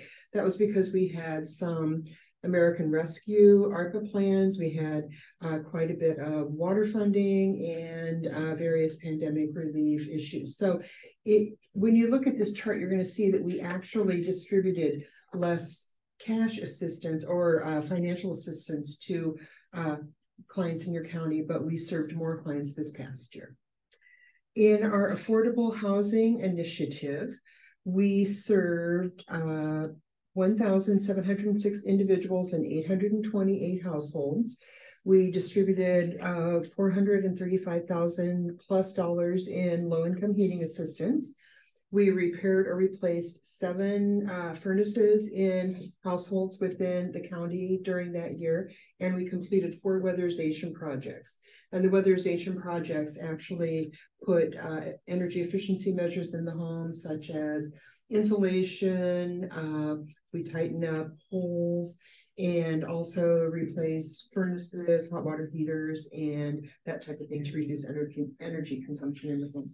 And that resulted in uh, a use of 25% less energy than those households that we did serve. We also stabilized uh, two families by providing uh, housing services, homeless housing services to them. Uh, we also provided case management, rent, and utility assistance to those folks and are continually looking for uh, households to serve, including veterans and non-veterans, with veterans being the primary focus. And Ronell does a fabulous job of working with those families within the county. And our local assistance, we provided 150 households with a variety of basic needs. Uh, 103 of those households received some sort of rent assistance, emergency shelter, or rent reimbursement supplements. And 78 uh, households or families in the county were part of our VITA program, which is the income tax uh, program where we work with them to get their taxes figured and filed. And generally, it results in an earned income uh, credit refund coming back to that household. We also gave 28 households bus passes, gas cards, or provided resources for vehicle repairs. We provided 11 households with food assistance and five households were uh, supplied with hygiene products. We also have 16 Head Start slots in uh, Jackson County, and we serve those at the facility that we're going to talk about today. We have a, it's considered a part year program because it doesn't run through the summer. Although we do some extended daycare there, and we use not only Head Start funds, but the local empowerment funds from the county as well too, to provide that. And the last thing I want to share with you about our services is we have 19 members that work in Jackson County, and that is an annual payroll at this time of about $300,000 that goes back into the community. So any questions on that? Well, it's not that I, I had a chance to dissect it it, but there's a lot of numbers got thrown around there, but uh, Yeah. yeah, it sounds uh substantial. I, you know, we are thrilled to be serving uh Jackson County, as you know. I think, Mike, you were involved in the transition from Operation New View to HACAP. I mean, you were at the twenty. Yeah, I just don't have enough information to Mhm. retained, I Yeah. guess, if if I did, and I remember, I know. Well, that's Jack was- okay. Jack Uh, Jack kinda was- involved. Jack was extremely involved. He was a member of the transition committee and executive committee and also a board member for Operation New View. But we've been serving, HACAP has been serving the area since uh two thousand, uh, twenty twenty, it's not 2000, 2020. Uh, October first of twenty twenty, we worked with Operation New View for several months prior to that, before the transition did take place. We have expanded the level of services that are provided in the community since we've been part of HACAP. Uh, certainly Operation New View was a great community action agency, but we have a wider breadth of services be, because of, uh, we're a larger organization than what Operation New View had. So we've been able to provide more comprehensive services and look forward to continuing to grow the services that we provide in the county as well. Yeah, cause I guess, you know, we, we just don't hear a lot about. it, Right, you know, right. We just Mhm, don't, mhm. and, you know, the. I admit, we I need, if I, I sit down and we look need over to do a these numbers, that's a lot of, a lot of. Of communicating with you, Right. so. Uh, Cause there's, a- yeah, I mean, no offense, there's a lot of people that have. You say Operation New View, they get it. You say HACAP and Yeah, it's been a, it's been a challenging transition to, um, you know, I'll go on the radio a couple times a year. Um, we are, when we are stuck in our phrases here in our community, we tend to call things the same thing for years after the, the change has taken place. Um, but I do agree, you know, I try to get out to a lot of public events, um, and partnering with different organizations that we work with. Um, so I want to point out just some of the things that we have done to improve access to families that we're serving. So one of the gaps in our community um, is dental care for low-income families. And so in the last few years, we really made a good partnership with Crescent Community Health Center out of Dubuque, which has a dental clinic. Um, I'm on their board now, and so we're improving access to quality healthcare for lower income families, which wouldn't have that access. Um, a lot of our veterans will be going to Crescent as well. Um, Crescent is a nonprofit organization that helps to provide um, access and resources to people um, for brain health, uh, physical health, and also dental health. Now they have a prescription assistance program too. So that's a really good partnership. Um, everything goes by folks' income there. So you, if you don't have access to health insurance, um, they all fill that gap for you. Um, or if you're underinsured. We also, you know, with our Head Start program, a couple, right at the beginning of the pandemic, we started a partnership with the Jackson County Succeeding Together um, organization, which is, is relatively new and up and coming. And we started to ask our Head Start parents if they wanted to partner um, with the Ruby Payne Bridges Out of Poverty program, um, which helps them to establish just different relationships within the community and broaden their horizons a little bit. A lot of you know Brian and Jane Schmidt um, and Sue Gossman. Um, they're part of this. Brian and Jane teach the class. And we had 10 parents um, that entered that class who um, are just incredible human beings. Um, one of those, one of those couples were able to, um, because they took this class, they were able to rebuild their credit and they just purchased a house two years later. Um, both of them are working full-time jobs where they were working part-time jobs before, and that was because of the partnerships that they developed throughout the class. Um, and also just helping them to understand how to rebuild credit. And so I think that this is something that we want to continue in our community. It's helping our community grow. Um, while the numbers for the class are 10 and under, um, you know, 10 participants and under, that's 10 lives, you know, and households that we're changing um, gradually. But you're and affecting a, a lot It's more a than. huge 10, yeah. impact. It is. And I love this, this program because it really um, spends a lot of quality time with families and building relationships with people like you who have been very successful in your lives. And so we'll probably call upon one of you to come to one of the classes. It's going to begin in January. We really want you to be able to come and talk about your experience, your life experiences, your successes, and your mistakes um, how you overcame those mistakes and how you really focused on what can I do to help improve our community. Um, people are volunteering now that went in this class who had never felt comfortable in volunteering before. And as you know, in our community, it takes a village to grow us. And we are small, but we are mighty. And I'm just so incredibly proud. Our Head Start parents, you know, they're at 100% of the area media area median poverty level. They're living in extreme poverty. And for them to break barriers and grow out of that has just been incredibly impressive. Um, and we can't do that alone. Um, so I would love to see one or all of you come and have lunch with our kids, get engaged with our families, um, come and read to them. That's how we that's how we help these families uh, grow and thrive. Uh, we also provided a little disaster assistance. We talked about the flooding. the I forgot about tornadoes. a lot of disasters. Yeah, um, that's a huge program for low income families and low income households. I think I personally helped um a caseload of eight families um in Bellevue. Miles, Sabula and Green Island who who dealt with flooding and high winds. Um, and that grant helps to provide about five thousand dollars of gap coverage. So it helps to pay if they have homeowners insurance, it will pay their deductible. So they can stretch their dollars. Um, because our lower, lower income families just don't have those kind of resources sometimes. So we appreciate everything you do to help Yes, us. we do. You know, I mean, it's all just- really good information here that, uh, be honest with you, that we don't know about. yeah, I mean, we don't. We'll We do a just- better we just job. Yeah, we'll get do a it. better job of making sure you are aware of it. Well, you know, I mean, I mean, again, Mary, you can have this too if you want that. Um, Okay. It's, We've got another Yep. one too. it's like, uh, that's an extra one actually. So, yeah, it's like we, you know, and especially with two new board members, and I'll be Absolutely. honest, I knew very little.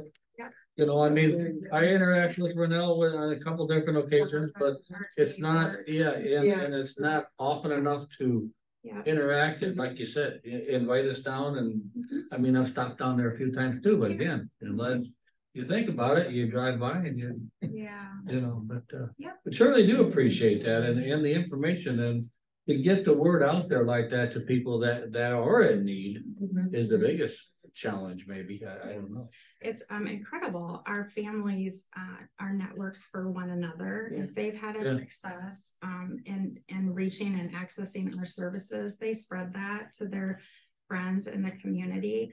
But it's really, really important to have folks um who maybe are above that need knowing about us because you're working with families in the communities.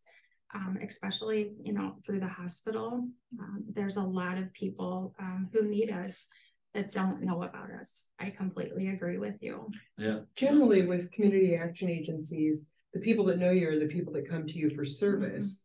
And so, you know, they're oftentimes very well versed in the services we provide, but they're uh kind of a silent population within when it comes to sharing that information in the community. so I, I guess with that being said too, I, I see it as not only a county thing, Mhm. I, I see it as a municipality, you know, Mhm. a covenant involved. Mhm. So I think they know very little too, to be honest. I, I So- actually work with the, the local municipal, um, because we provide funding to them. Right. So they're our greatest source of referral. If a person is struggling to pay their bills, if they're struggling to, um, if they're facing a shut off notice, they're calling, they're referring people over to us. We have partnerships and contracts with every single municipal utility Mhm, company. mhm. It's awesome. Um, So yeah, it is, it is a really good thing. Yeah. Um, and we're grateful for those partnerships and especially our I mean, space. we don't, we don't expect anybody to live in poverty, but it's, it's here. It It's, is. Yeah. it's in our county. And some of the areas I've seen just even recently, you know, I had a family member who lost their spouse. Well, now Mhm. being only one income Yeah. Yeah, Mhm. it changes Yeah, everything. definitely. puts you in a whole different Mhm, mhm, ballpark of where you're at. Mhm. Yep. It certainly does. And we're serving um a tremendous amount of our population are senior citizens um who have lost their spouse and they just are surviving on one income and then uh disabled individuals. That's a large part of our population. Along with um hardworking low income families. Yeah, I, I like the interaction, you know, with the, with the, like with the city of Maquoketa also, that Mhm, you can, and that Yeah. inform them of what's all going on. I mean, it's right here in town, so. Mhm. Um, Yeah. so, uh, did we talk police? Uh, we're fine with the terms of the lease. I, I mean, we're. Okay, so I guess, you know, again, two new supervisors and me being out of Mhm, touch a little bit. So I, I guess I don't know how the numbers ever come about, or what the standards are, or what's normal. Or what's not normal, or, you know, is there a percentage increase every year? I, you know, I did a couple of these, uh, percentages, and I mean, you're looking at a two percent or slightly over two percent maybe. Yeah, I think, you know, this, the lease, when we uh took over and became involved was the build off of the lease that was currently in place with Operation New View. for Well, that's a long time before any of us, so I, Yeah. that, Yeah. That's the point that, that we, we don't know how it come about, or if it's a, if it's normal in industry, or what is Yeah, in the we- industry, or if We would consider it, you know, uh, because we own and lease facilities both we would consider it to be standard for the, um, property that we're leasing from you. that Did I hear you say you wanted to buy the property? Did I hear you say that? I don't know, no. Do you want to sell it?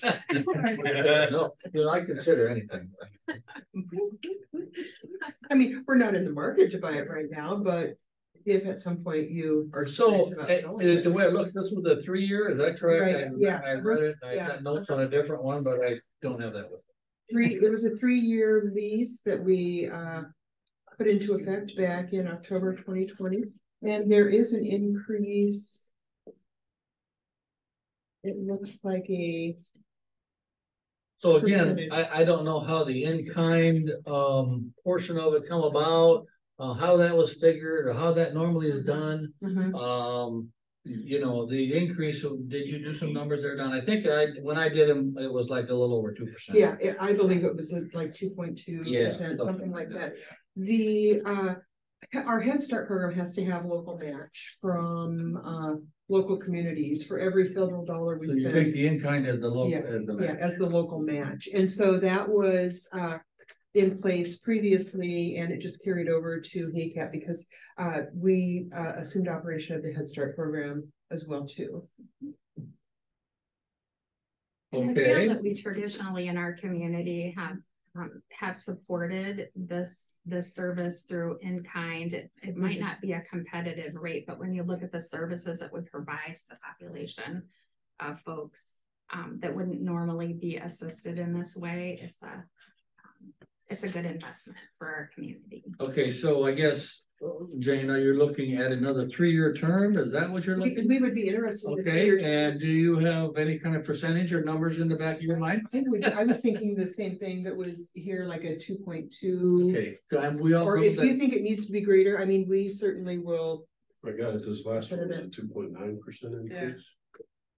so I guess, I, I guess we're looking at everything else also with the cost of Sure, everything and mhm, mhm, inflation how it is, and uh, we're looking at our side of it too. Mhm. It is, is a five percent out of line no. According to where well, you're at. with the- Certainly, we would, we would need to pay that because we don't, we need the facility to provide services in our Head Start program. No, but I'm not bending anybody's arm here. I- Yeah. I'm not trying to do that. What if we met halfway and did a four? It's up for discussion. Did a four percent increase in the league? Every year, I mean annually, Yeah, you're talking, yeah. An annual four percent. Are we changing the in-kind amount or is it staying sixteen two? Well. Did the, It does looks like the, it stayed at Yeah, it, it sixty-two. has stayed stable. Yeah, it stayed at. And we've just increased. what we've paid. and it's not substantial. but- Right. And we have made some improvements to the facility as well too. Over the past. year Yeah, and that's, you know, spelled out in our lease, I suppose, pretty much.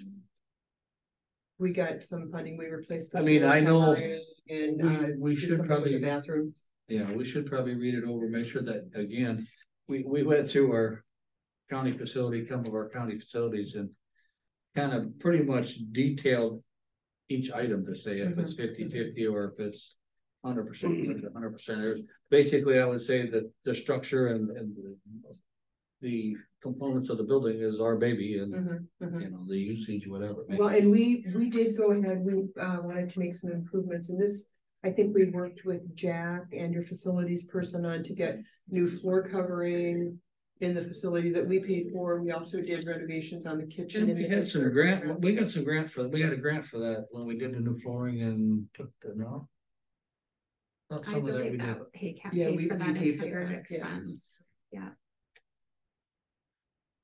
Your Head Start program at the time, or the Head Start program, which was operated, uh. Not by Operation New View, but, but by Community Development Institute. They had some federal funds that they thought they could use to replace the floor covering, but it didn't, uh, ever work out. Okay, The federal funds were reassigned. So we, we made it a priority to replace the floor covering. you know, and we talked here a week ago briefly a little bit, Sure. and I asked you to look it over, was there anything in particular? That you've seen in there that you wanted, yeah, no. yeah, no, I, I mean, I read it over too. I guess, you know, other than have legal counsel to say, Right. yeah, everything looks. Good. I asked our facilities department and our CFO if they had any concerns and they did not. We did also add a security system, um, so it's a buzzer system to get in and out, so that's an improvement as well, that. Um, that HACAP made, that I can remember. I guess, uh, my initial thought was, was five, but I, you know, again, I'm negotiable. we're- If you want five, we'll do five. Well, I'm not, like I said, I'm not strong arming anybody here, and it's not a lot of money, but it seems the way the inflation rates and everything is Sure. going. It's still, I mean, if we had nine percent inflation, five is almost half of that, so I I Mhm. guess I don't know, if I'm looking at it the right way. We would be. Input here from anyone else? I think that. I mean. I was- I mean, if you Just think it's because fair, we think anything it's fair. Minor even that we would have to do would be. Well over that increase. Yeah. Can I ask a question? Yeah. So what, what's in the kitchen? Do you have a, a dishwasher? Yeah, we put in a new Refrigerator. dishwasher, That's all yours. yeah. It doesn't specifically say here. I mean, I just wanna make sure because Yeah. we have another situation in another Mhm, facility. mhm. And that's hundred percent on, Mhm. okay. So do we need to spell that out? Um, we have with our other facilities, yeah, I mean, who's, who's responsible, so. I mean, it's a 50-50 with our. Equipment, if you say. Well, That's what I'm equipment. saying, wash, I mean, I guess I'm thinking dishwasher, stove, Yeah, refrigerator. yeah, we've replaced all of those mm-hmm. things and I, I think we have done some work on cabinets or are going to be doing some work that's in- on That's in cabinets as well too, process. yeah. mhm. So I think you wanna spell that out, just so that if mm-hmm. this lease was broken. And you walked out with it, there wasn't an issue. us But we going- have to leave the cabinets because Right, they would be. they would be Yeah. a fixture, yeah. but. Yeah. But your stove and Yeah. refrigerator, if you wanted to take them, then, you know, Yeah. I think we want that, Yeah, So we, we can don't we- consider this per, a permanent, a permanent part of the property. right, because they're not a fix. Right, right. I mean, it'd be not like a fix. house, you have the option of Yeah. if you wanna leave them or take them. Yeah. With your property, so I think, Yeah, I think it'd be easy enough to spell out if we did it at the care facility somewhat, uh, yeah, well, let's, uh, so is it uh, feasible to say for the next month or two we operate the Yeah. way we are? What we had right Until- Yeah, until we can- until we get it worked out. Yeah. Work, get the wording and the percentages in there and, uh. Mhm. that'd. Well, you know, again, being new on the board. Times are tough, all that kind of stuff. I, I appreciate the five percent, but.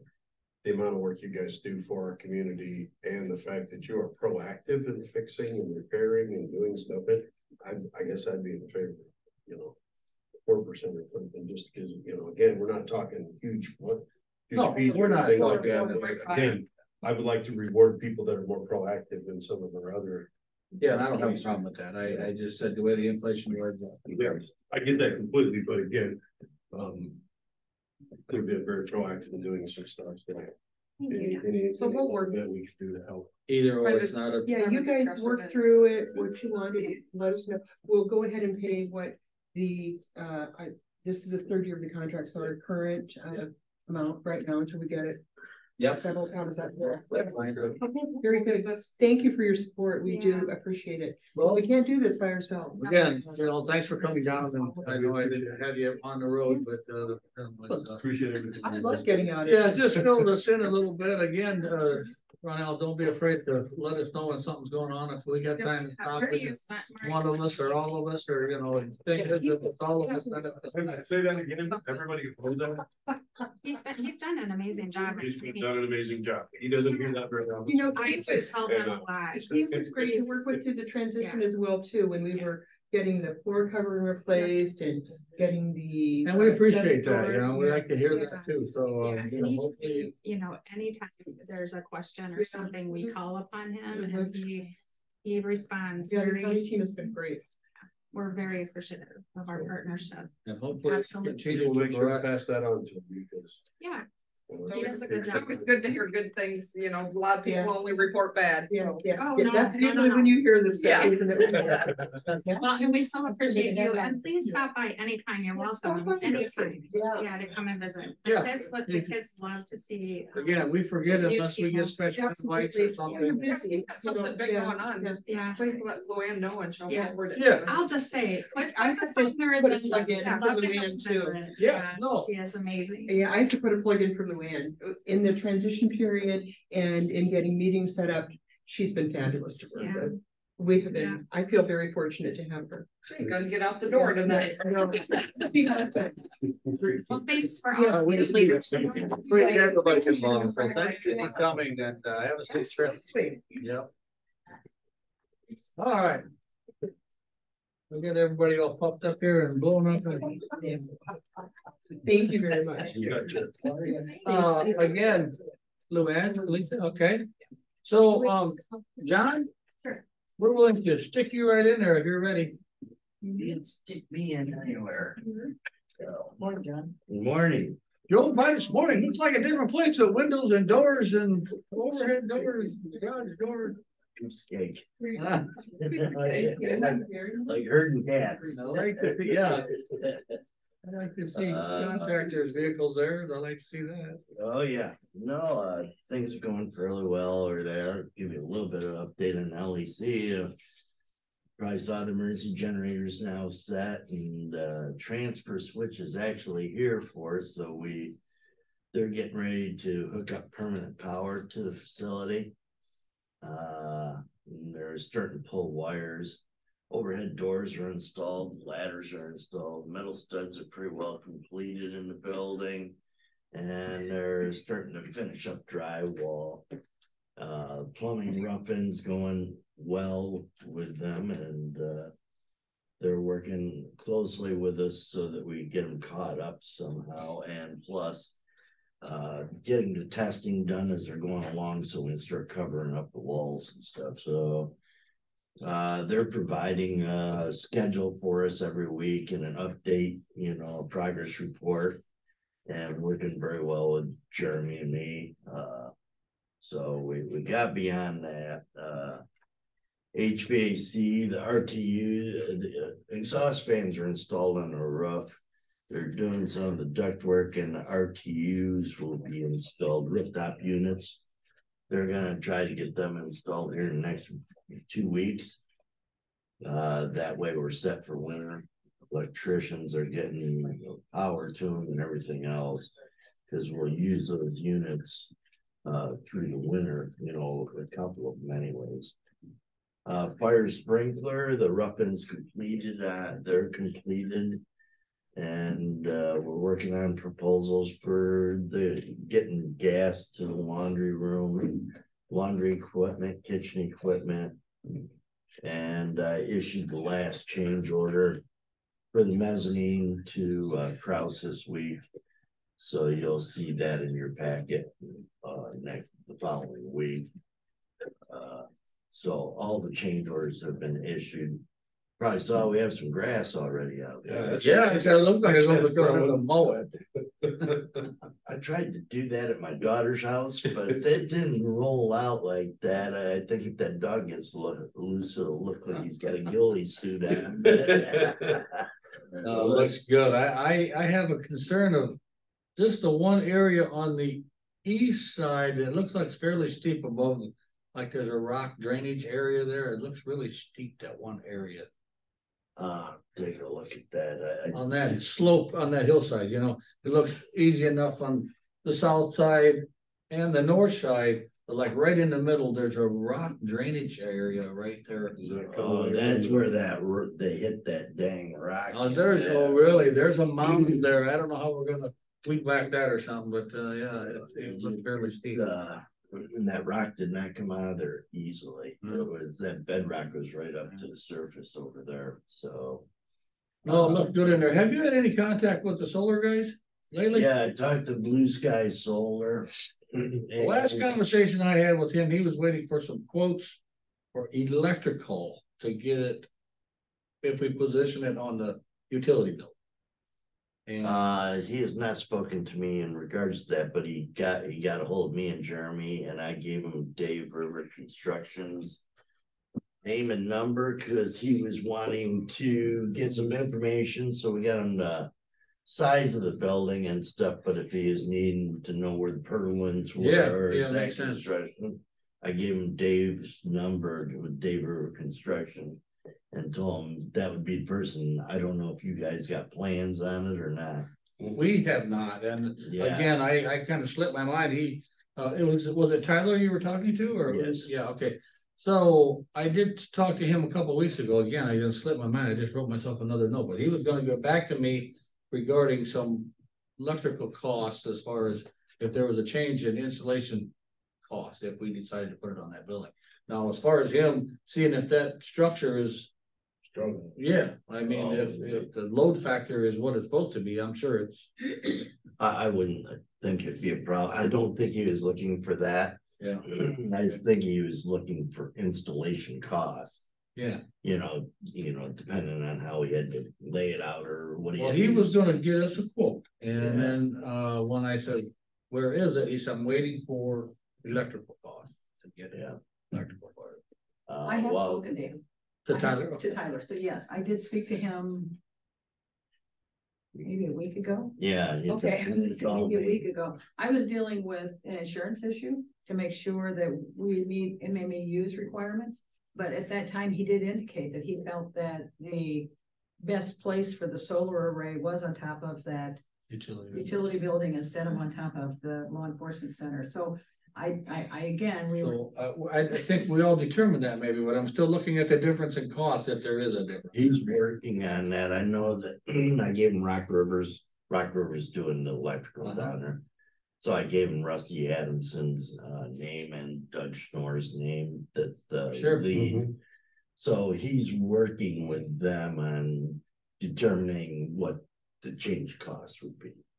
On that particular, so I think Tyler's working on it, Mike, to answer your question. Uh, so, but uh, I just supplied him the information he needed to get. Whatever he needed done, so. Yeah. My one concern on that is just that when we bid it out, everybody kind of thought the roof was the best spot. Uh, Did we not not- every, I- I- not every. No, I, I I don't really like it on that roof. I like it better on the utility building. That seems much more easier to get off Well, and get because on. it's fastened down. Yeah. The biggest problem is you put it on top of the jail. They were like, well, it just sits there with some sand. I mean, the only thing I can see is maintenance with all the other stuff that's on that roof and working around panels and, you know, whatever. Trying to keep contractors from dropping scraps and stuff Yeah. and screws and everything else up there, it it would. It's gonna be a lot better either on the metal building or on the ground there. By chance, did they put the snow cap? On the roof of the, the storage building? There's like little things they can put up so the. net- Like no jacks, Snow jacks, so the snow don't go flying off because, uh, I see that being an issue either way. I don't know if they did or didn't. uh, I'd have to look at will hold that.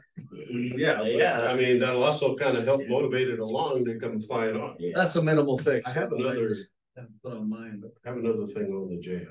yeah, I What's was that? waiting for that. On the, e- on the west side of the administration portion.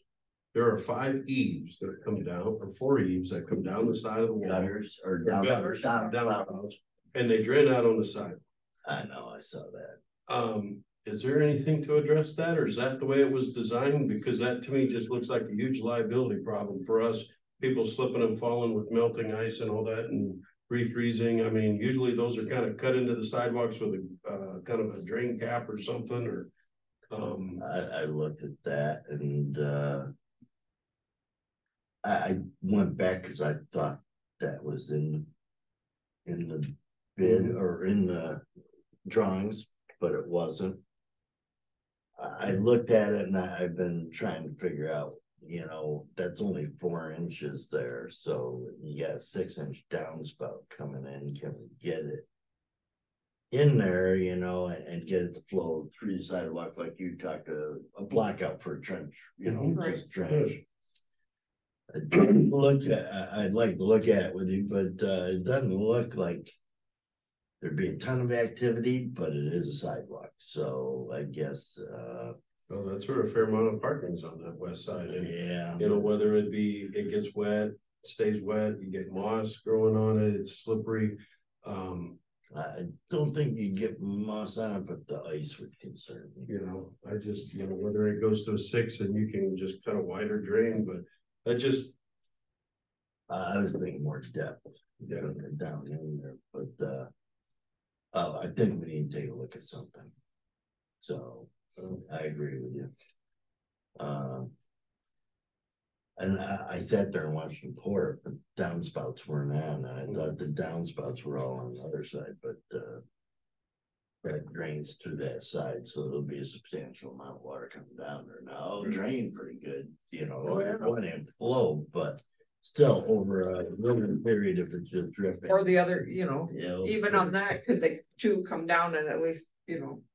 Total I one. guess the good side of it, it is on the west side and we have to keep it clean anyway, one way or the other, but, Mhm. uh, um, yeah, I don't know either, I guess. it you're should have talking a lot of salt, a lot of, it's gonna. Should have take been lot a forethought extra instead of an afterthought, is my guess, yeah.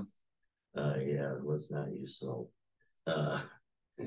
The stuff up, uh, sand works good, so. Uh, no, I'll take a look at that and see what we can come up with. Me and Jeremy talked about that and just said, Jesus Christ. And I said, well, we're standing there watching them pour that damn thing, you know, and it didn't hit me then, but, uh. Then, I, when they put them downspouts on, I said, oh, that's gonna be a problem, because the one is gonna be a problem anyways. Cause it's right in the corner Mhm.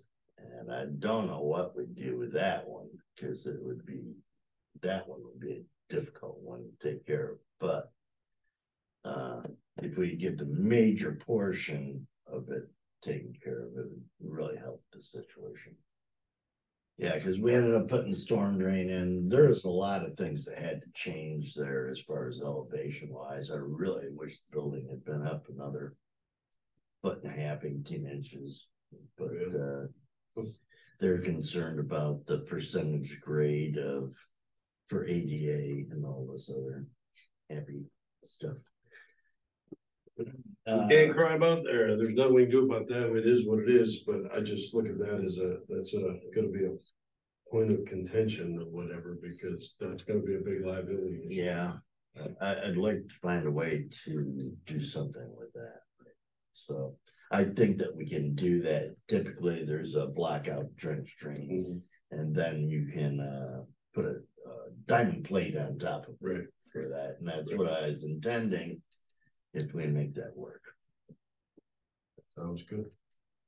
Uh, as far as the Jackson County Fair and Extension, uh, I have pay apps. so there's one change order for that, it's a change order to deduct. For six thousand dollars. Uh, we are able to delete the dishwasher hood and, and, and reduce the amount of, uh. Of, uh. Makeup area we needed. Uh, fire sprinklers done, metal studs, drywall and the finish are completed over there. They're finishing sealing the building. Plumbing rough-ins computed, uh, completed. Rooftop units are set. They're running gas mains to them right now. The gas mains are in at both buildings from Black Hill. Fire sprinklers pretty well completed and uh, we're hoping to get the parking lot poured both there and over, get that final parking lot poured Mhm. over at the jail too, so. Did they get the, I'm sorry, No, go ahead. did they get the, um, jail site building power washed off and all that done? They got a power wash, decided to drive into the landscape. Sealed or weren't they, didn't they have to power wash it and seal it, so that's why they didn't finish the seating? Was he, get- does he have to come back then and finish that or something? Did I hear that? The se- the contractor, the, the painter that's over there is doing the painting and the sealing at our building, so as soon as he finishes sealing that, he's moving over to this building to finish sealing. And, uh. Schenkel, is it? I believe that the landscaper. He's gonna do the whole site. He, we just didn't wanna get it in there and have it all messed up. So he's planning on coming back and finishing the entire site. Around the building there? Oh, yeah. Okay. So it, it will be finished. Uh, he's done a wonderful job out there, so I- I've been real happy with him. But uh, both projects come along fine. We're down to. You know, we're really close on the budget for the Jackson County Fair started up there higher and we've been able to change some stuff and move some stuff around. Um, you know, eliminate fire hydrant because the city wouldn't use fire hydrant because it's privately owned line and stuff and they can't. So we we're able to save some money and, and got it pretty well within the budget, but there's. They're hoping open in December, you know, have an open house in December, so. Uh, I think that's very possible. Good news. Any other questions for John? Coming along, looks like it's coming along anyway. I haven't Yeah. talked to the interior lately, but Oh, we got people out there for a change, so I mean, Yeah. they're hitting it hard right now and, uh. Uh, we get the material order. I think we're gonna be more, more waiting on material than anything else. Uh, Girardi's, I'm gonna go out there this afternoon. They got. Uh, one of the stairs fabricated and ready to go. Talk to the painter. Like to paint them before they go into the facility if possible. are they powder coated or no? No, Painted. they're, they're painted. Okay. So, you know, you go to paint that mesh, you'll have it all over the dang place. So, uh, it's a bolted connection, so. I'm talking to Jeremy and Sean and seeing if we can get them out there and. And, uh, painter can paint them and then we'll bring them in and install them, so, Okay, appreciate it. okay? Andrew, any questions or anyone else? Any questions? Oh. Nothing for me. Appreciate the update. When's it gonna, open? when are you gonna open Uh, which one? jail? Jail, jail is probably gonna be in February because uh the door, the locks and everything. Detention equipment, there's only, Any addition? yeah, Southern Folgers bought out Brinks now, so they're the only lock supplier. At this, for now, and uh, doors are, there's only trust, you know. What you do is buy everybody out and just raise prices, of gas, and then, uh, and then tell you, you know, it's just crazy today. They, I think the manufacturers just got used to longer lead times. I mean, I don't care if it's a couch, refrigerator, I mean, we're, you know, you're waiting for stuff forever and. I'm having a terrible time at Palo Alto is because I can't get the transfer switch, which means I can't get permanent power. And uh, they're moving E nine one one and I gotta have permanent power. Or the state will be down on me like crazy, but uh. I I I I think that uh, you'll see the fair will have their open house in December, but I would, I would, we gotta get people, you know, moved into the facility, so I'm hoping in February. Late January, the and jail. the jail, but Do you have uh, a, do you have a completion time on the administrative side when that'll be ready where we can start putting stuff in their desks, whatnot, tables, chairs? Oh, yeah, I would figure you're gonna be in December, you know, on that, you know, moving stuff in. Uh, Bjorn, yeah, I think that we'll probably November is, I wanted to get up here to look, I've seen your email. Uh, to possibly get SCI in there to start running cabling and stuff like that. I really kind of wanted to have the painting done before they came in because. Otherwise, they'll have all the wire painted and everything else and labels and all and it'd be a mess, so. But uh, no, I figure we could start moving, you know, start moving furniture and stuff in there around that time. December. Appreciate it. Okay. well, All right. You Thanks, guys have a John. great day. We know where to find you. Yeah, yeah, Did you bring the change order today for signature? yes. I- Is it on the agenda? It is now. Oh, well, I, I can, yeah, I can, If you have it, I do have it right here. because I had the cost for, Forty, uh, so I've got change order three dash one. Yeah. Okay, I'll get to it here. Okay, three dash one. Yeah. Three dash three. Three dash three and three dash one. What, you sent us three dash one for Crawford Heating and Cooling. That's Yeah. Three dash one. Three dash three is for ninety-seven thousand nine hundred and thirty dollars. Well, I don't have that one. To Kraus Plumbing and Heating. Oh, that's for the jail. Oh, that's for the jail, jail, okay. yeah. That I don't have, Okay, well. But I can I, do- I don't have the pay app for that yet done, so, but I've got the change order for the The deduct you talked about. For about. the deduct of Yeah, the six I thousand, got okay, so that I do have that. Okay, Um, so, and I have that as change order three dash one. yes, that's, yep, Okay, change order three dash one here and. Like I said, we deleted the dishwasher, and We like deducts. Yeah. We're heading the right direction. You got, you got one here for me to sign or Yeah. somebody to sign or what? Yeah, so uh, it'd be a recommendation, to go ahead and approve it. but not yet. I'll leave that to Lisa. We'll get to it here real soon. Oh, okay, No, I'm, can you sign one She's for up next. me so I can take it with me? You know, Just of Hang on just a will. Hang on just a second, let's just go through Lisa. Just put down for, Just sit, it's, Five minutes. this won't take but a few minutes. Oh, okay. well, If it's done already, if you'd have quit handing stuff out. Okay, okay. Okay, so I need a motion to approve the minutes of the September 29th, twenty twenty-three board proceedings as written by Auditor Smith and authorized publication in the official newspapers. So moved. second, Motion second to approve the minutes September 29th, twenty-three board proceedings as presented. All those in favor say aye. Alright, Aye, opposed, same sign. Motion carried. I also need a motion to accept and place on file and authorize the chair's signature on the county recorder's report of fees collected for the month of September twenty twenty-three in the amount of forty-five thousand, seven hundred and fifty-two dollars and seventy-five cents. so move, second, Motion second to approve the county's chair signature on the county recorder's report of fees collected for month of September as presented. All those in favor say aye. uh, Aye, opposed, same sign. Motion carried. So I need a motion to approve invoices for eight thousand and sixty-nine dollars and twelve cents to Midwest Construction Consultants, Inc. Eighty thousand five hundred and thirty-six dollars and twenty-five cents to Peak Construction. Sixteen thousand two hundred ninety-two dollars and fifty cents to Hometown Plumbing and Heating. Seventy-six thousand one hundred and seventy-one dollars and ninety-five cents to Crawford Company. Eighteen thousand seventy-five dollars and one cent to Stickley Electric.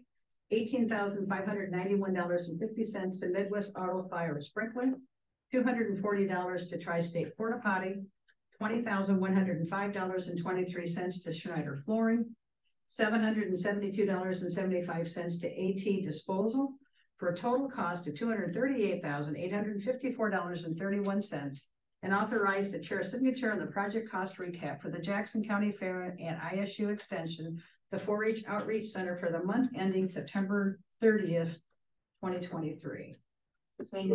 the. The motion I said- Or So that seventy-six thousand one seventy-one ninety-five to Crawford Company includes the six thousand dollar deduct. Uh, the six thousand dollar This- deduct came out of there. So Yeah, it's all reflected in there, that's just. It will- yeah, it's out of here. So we can have the board sign those also today. then, Yeah. Since you have them. Oh, yeah.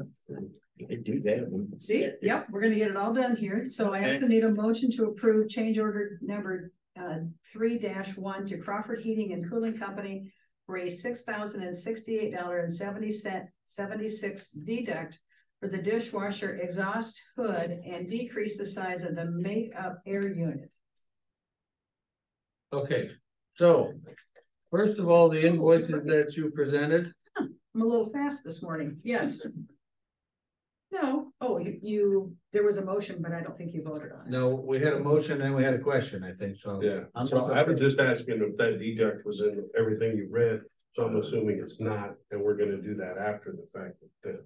It's deducted on the cost recap from their total contract value. So they still have a hundred and twelve thousand to finish yet, so it's deducted. It'll come out of what's gonna be billed. What, what they're gonna build in the future. Second, I have a motion and a second to approve the invoices as presented. All those in favor say aye. aye, Aye, opposed, same sign. Motion carried. Now, are we approving the change? The change order three one to Crawford Heating and Cooling Company. That's the six thousand and sixty-eight dollar and seventy-six cent deduct for the dishwasher exhaust hood and to decrease the size of the makeup air unit. so moved.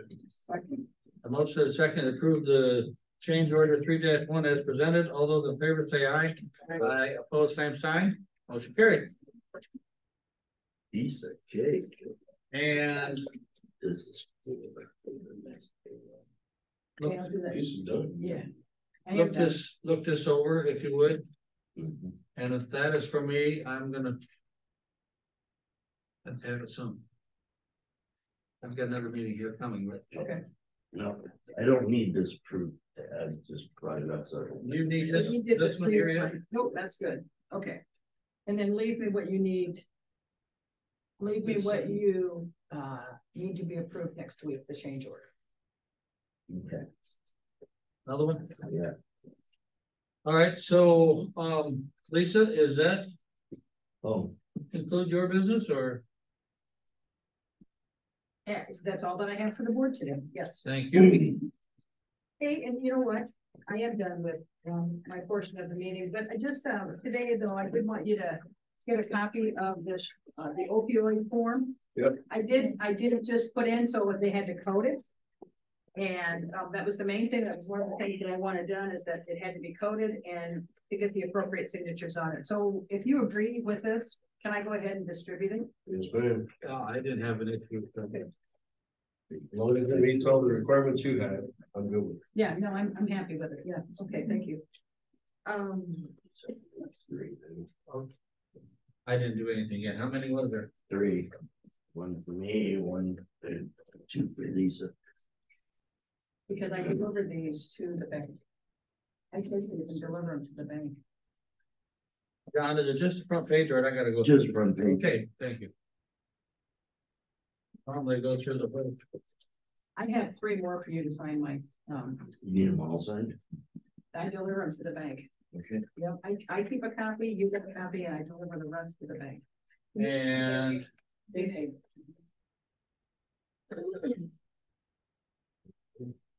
These two are yours, yeah, John? Uh, they're uh, Lisa's, I guess. Oh, okay, well then, I can give them to Lisa when. Yep, Nope. I'm Good to go, with that. John, thank you. Okay, thanks, John. Okay. And Luann?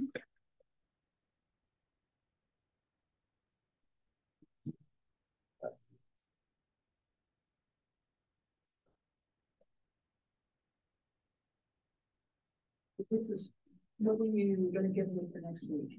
Uh, just change or I dropped it off with Shelley. Okay, very good, thank you. Ah, you got me confused, uh, well, that was short. Confusing. Okay, We like to keep people confused. I didn't know I was gonna be able to do that today, so it's great, You Get ahead of the game. yeah. Thank you. All right, John, have a good day. Thanks, John. Good morning. Good morning. Again? It is still morning, right? It seems like it's been a long meeting already. Okay. Calendar for um starting tomorrow, Wednesday, October fourth at four P M. Um, there is a Wednesdays are possible meeting over at Innovate one twenty, if any of you want to attend that. At six P M Wednesday night is the Jackson County Communication Center Advisory Board meeting um at the Cultural Law Center. And I think you said you were gonna go and maybe Nin was gonna go to that. We have two positions on that board, so. Um, And- wanna go? you said you had a conflict anyway, I think, for that. He's always conflicted. Okay. Okay, um, Monday, October 9th at seven thirty AM is an early childhood Iowa executive. Committee meeting by Zoom for Nina if she wants to go to that. Our next regular meeting will be Tuesday, October tenth at nine AM. That afternoon at four o'clock is the Maquoketa River Watershed Management Authority's Executive Committee meeting by Zoom for Don. Not too bad a week, all in all, for meetings. I think Wednesdays are possible, is at four thirty though this. Yeah, they just changed it. Yes, I got that this morning. You're correct. It's at four thirty. Okay, um, I think the only other business I had today was if you want to talk about the Pine Valley twenty-eight E agreement, and I'm not sure exactly where we're at with that for, Uh, was Nathan gonna get us some more information on that? No? I don't I thought remember. he was good with it. And I would ask that you check with him first and make sure that we're all in the open up there. I, I didn't, I know we talked about, uh, why are we doing, he said it was pretty common, but. and I did send it to, to John Keys to take a Okay. look at, Okay. make sure he was okay with it, since it's the twenty-eight E supposedly, so. If it's on there and we can do it, I don't mind doing it. Okay, so I'm not sure where we're at with that one, I guess. Good. That was it. Thank you. Other boards or commission reports, um. Had a really good municipal league meeting. We had a good attendance. Like, and really good positive news, like Andrew had some positive news with their jail. The old jail, like it could be sold. And. And Bellevue had to report on the three thousand, three hundred thousand dollar. Donation for the new park up north of town. One private individual and. Oh, Matt Monmouth had a, Baldwin had a report, but it was a good, it was a good meeting, very positive, so I'll wait for the minutes and forward them on to you, just so that whatever we had in them, so. Tomorrow night is the Bellevue Fire Um, demonstration. you have, We'll be at, over here then. Patient advisory. Uh, any other business before the board? Iris, we already talked about, um, we met with the home base Iowa people, we're moving forward on trying to set up some incentives, incentives for that. So, we're trying to keep it basic. Um, just, you know, uh, maybe two or three. Um, incentives for, for veterans moving back into the, the community, so.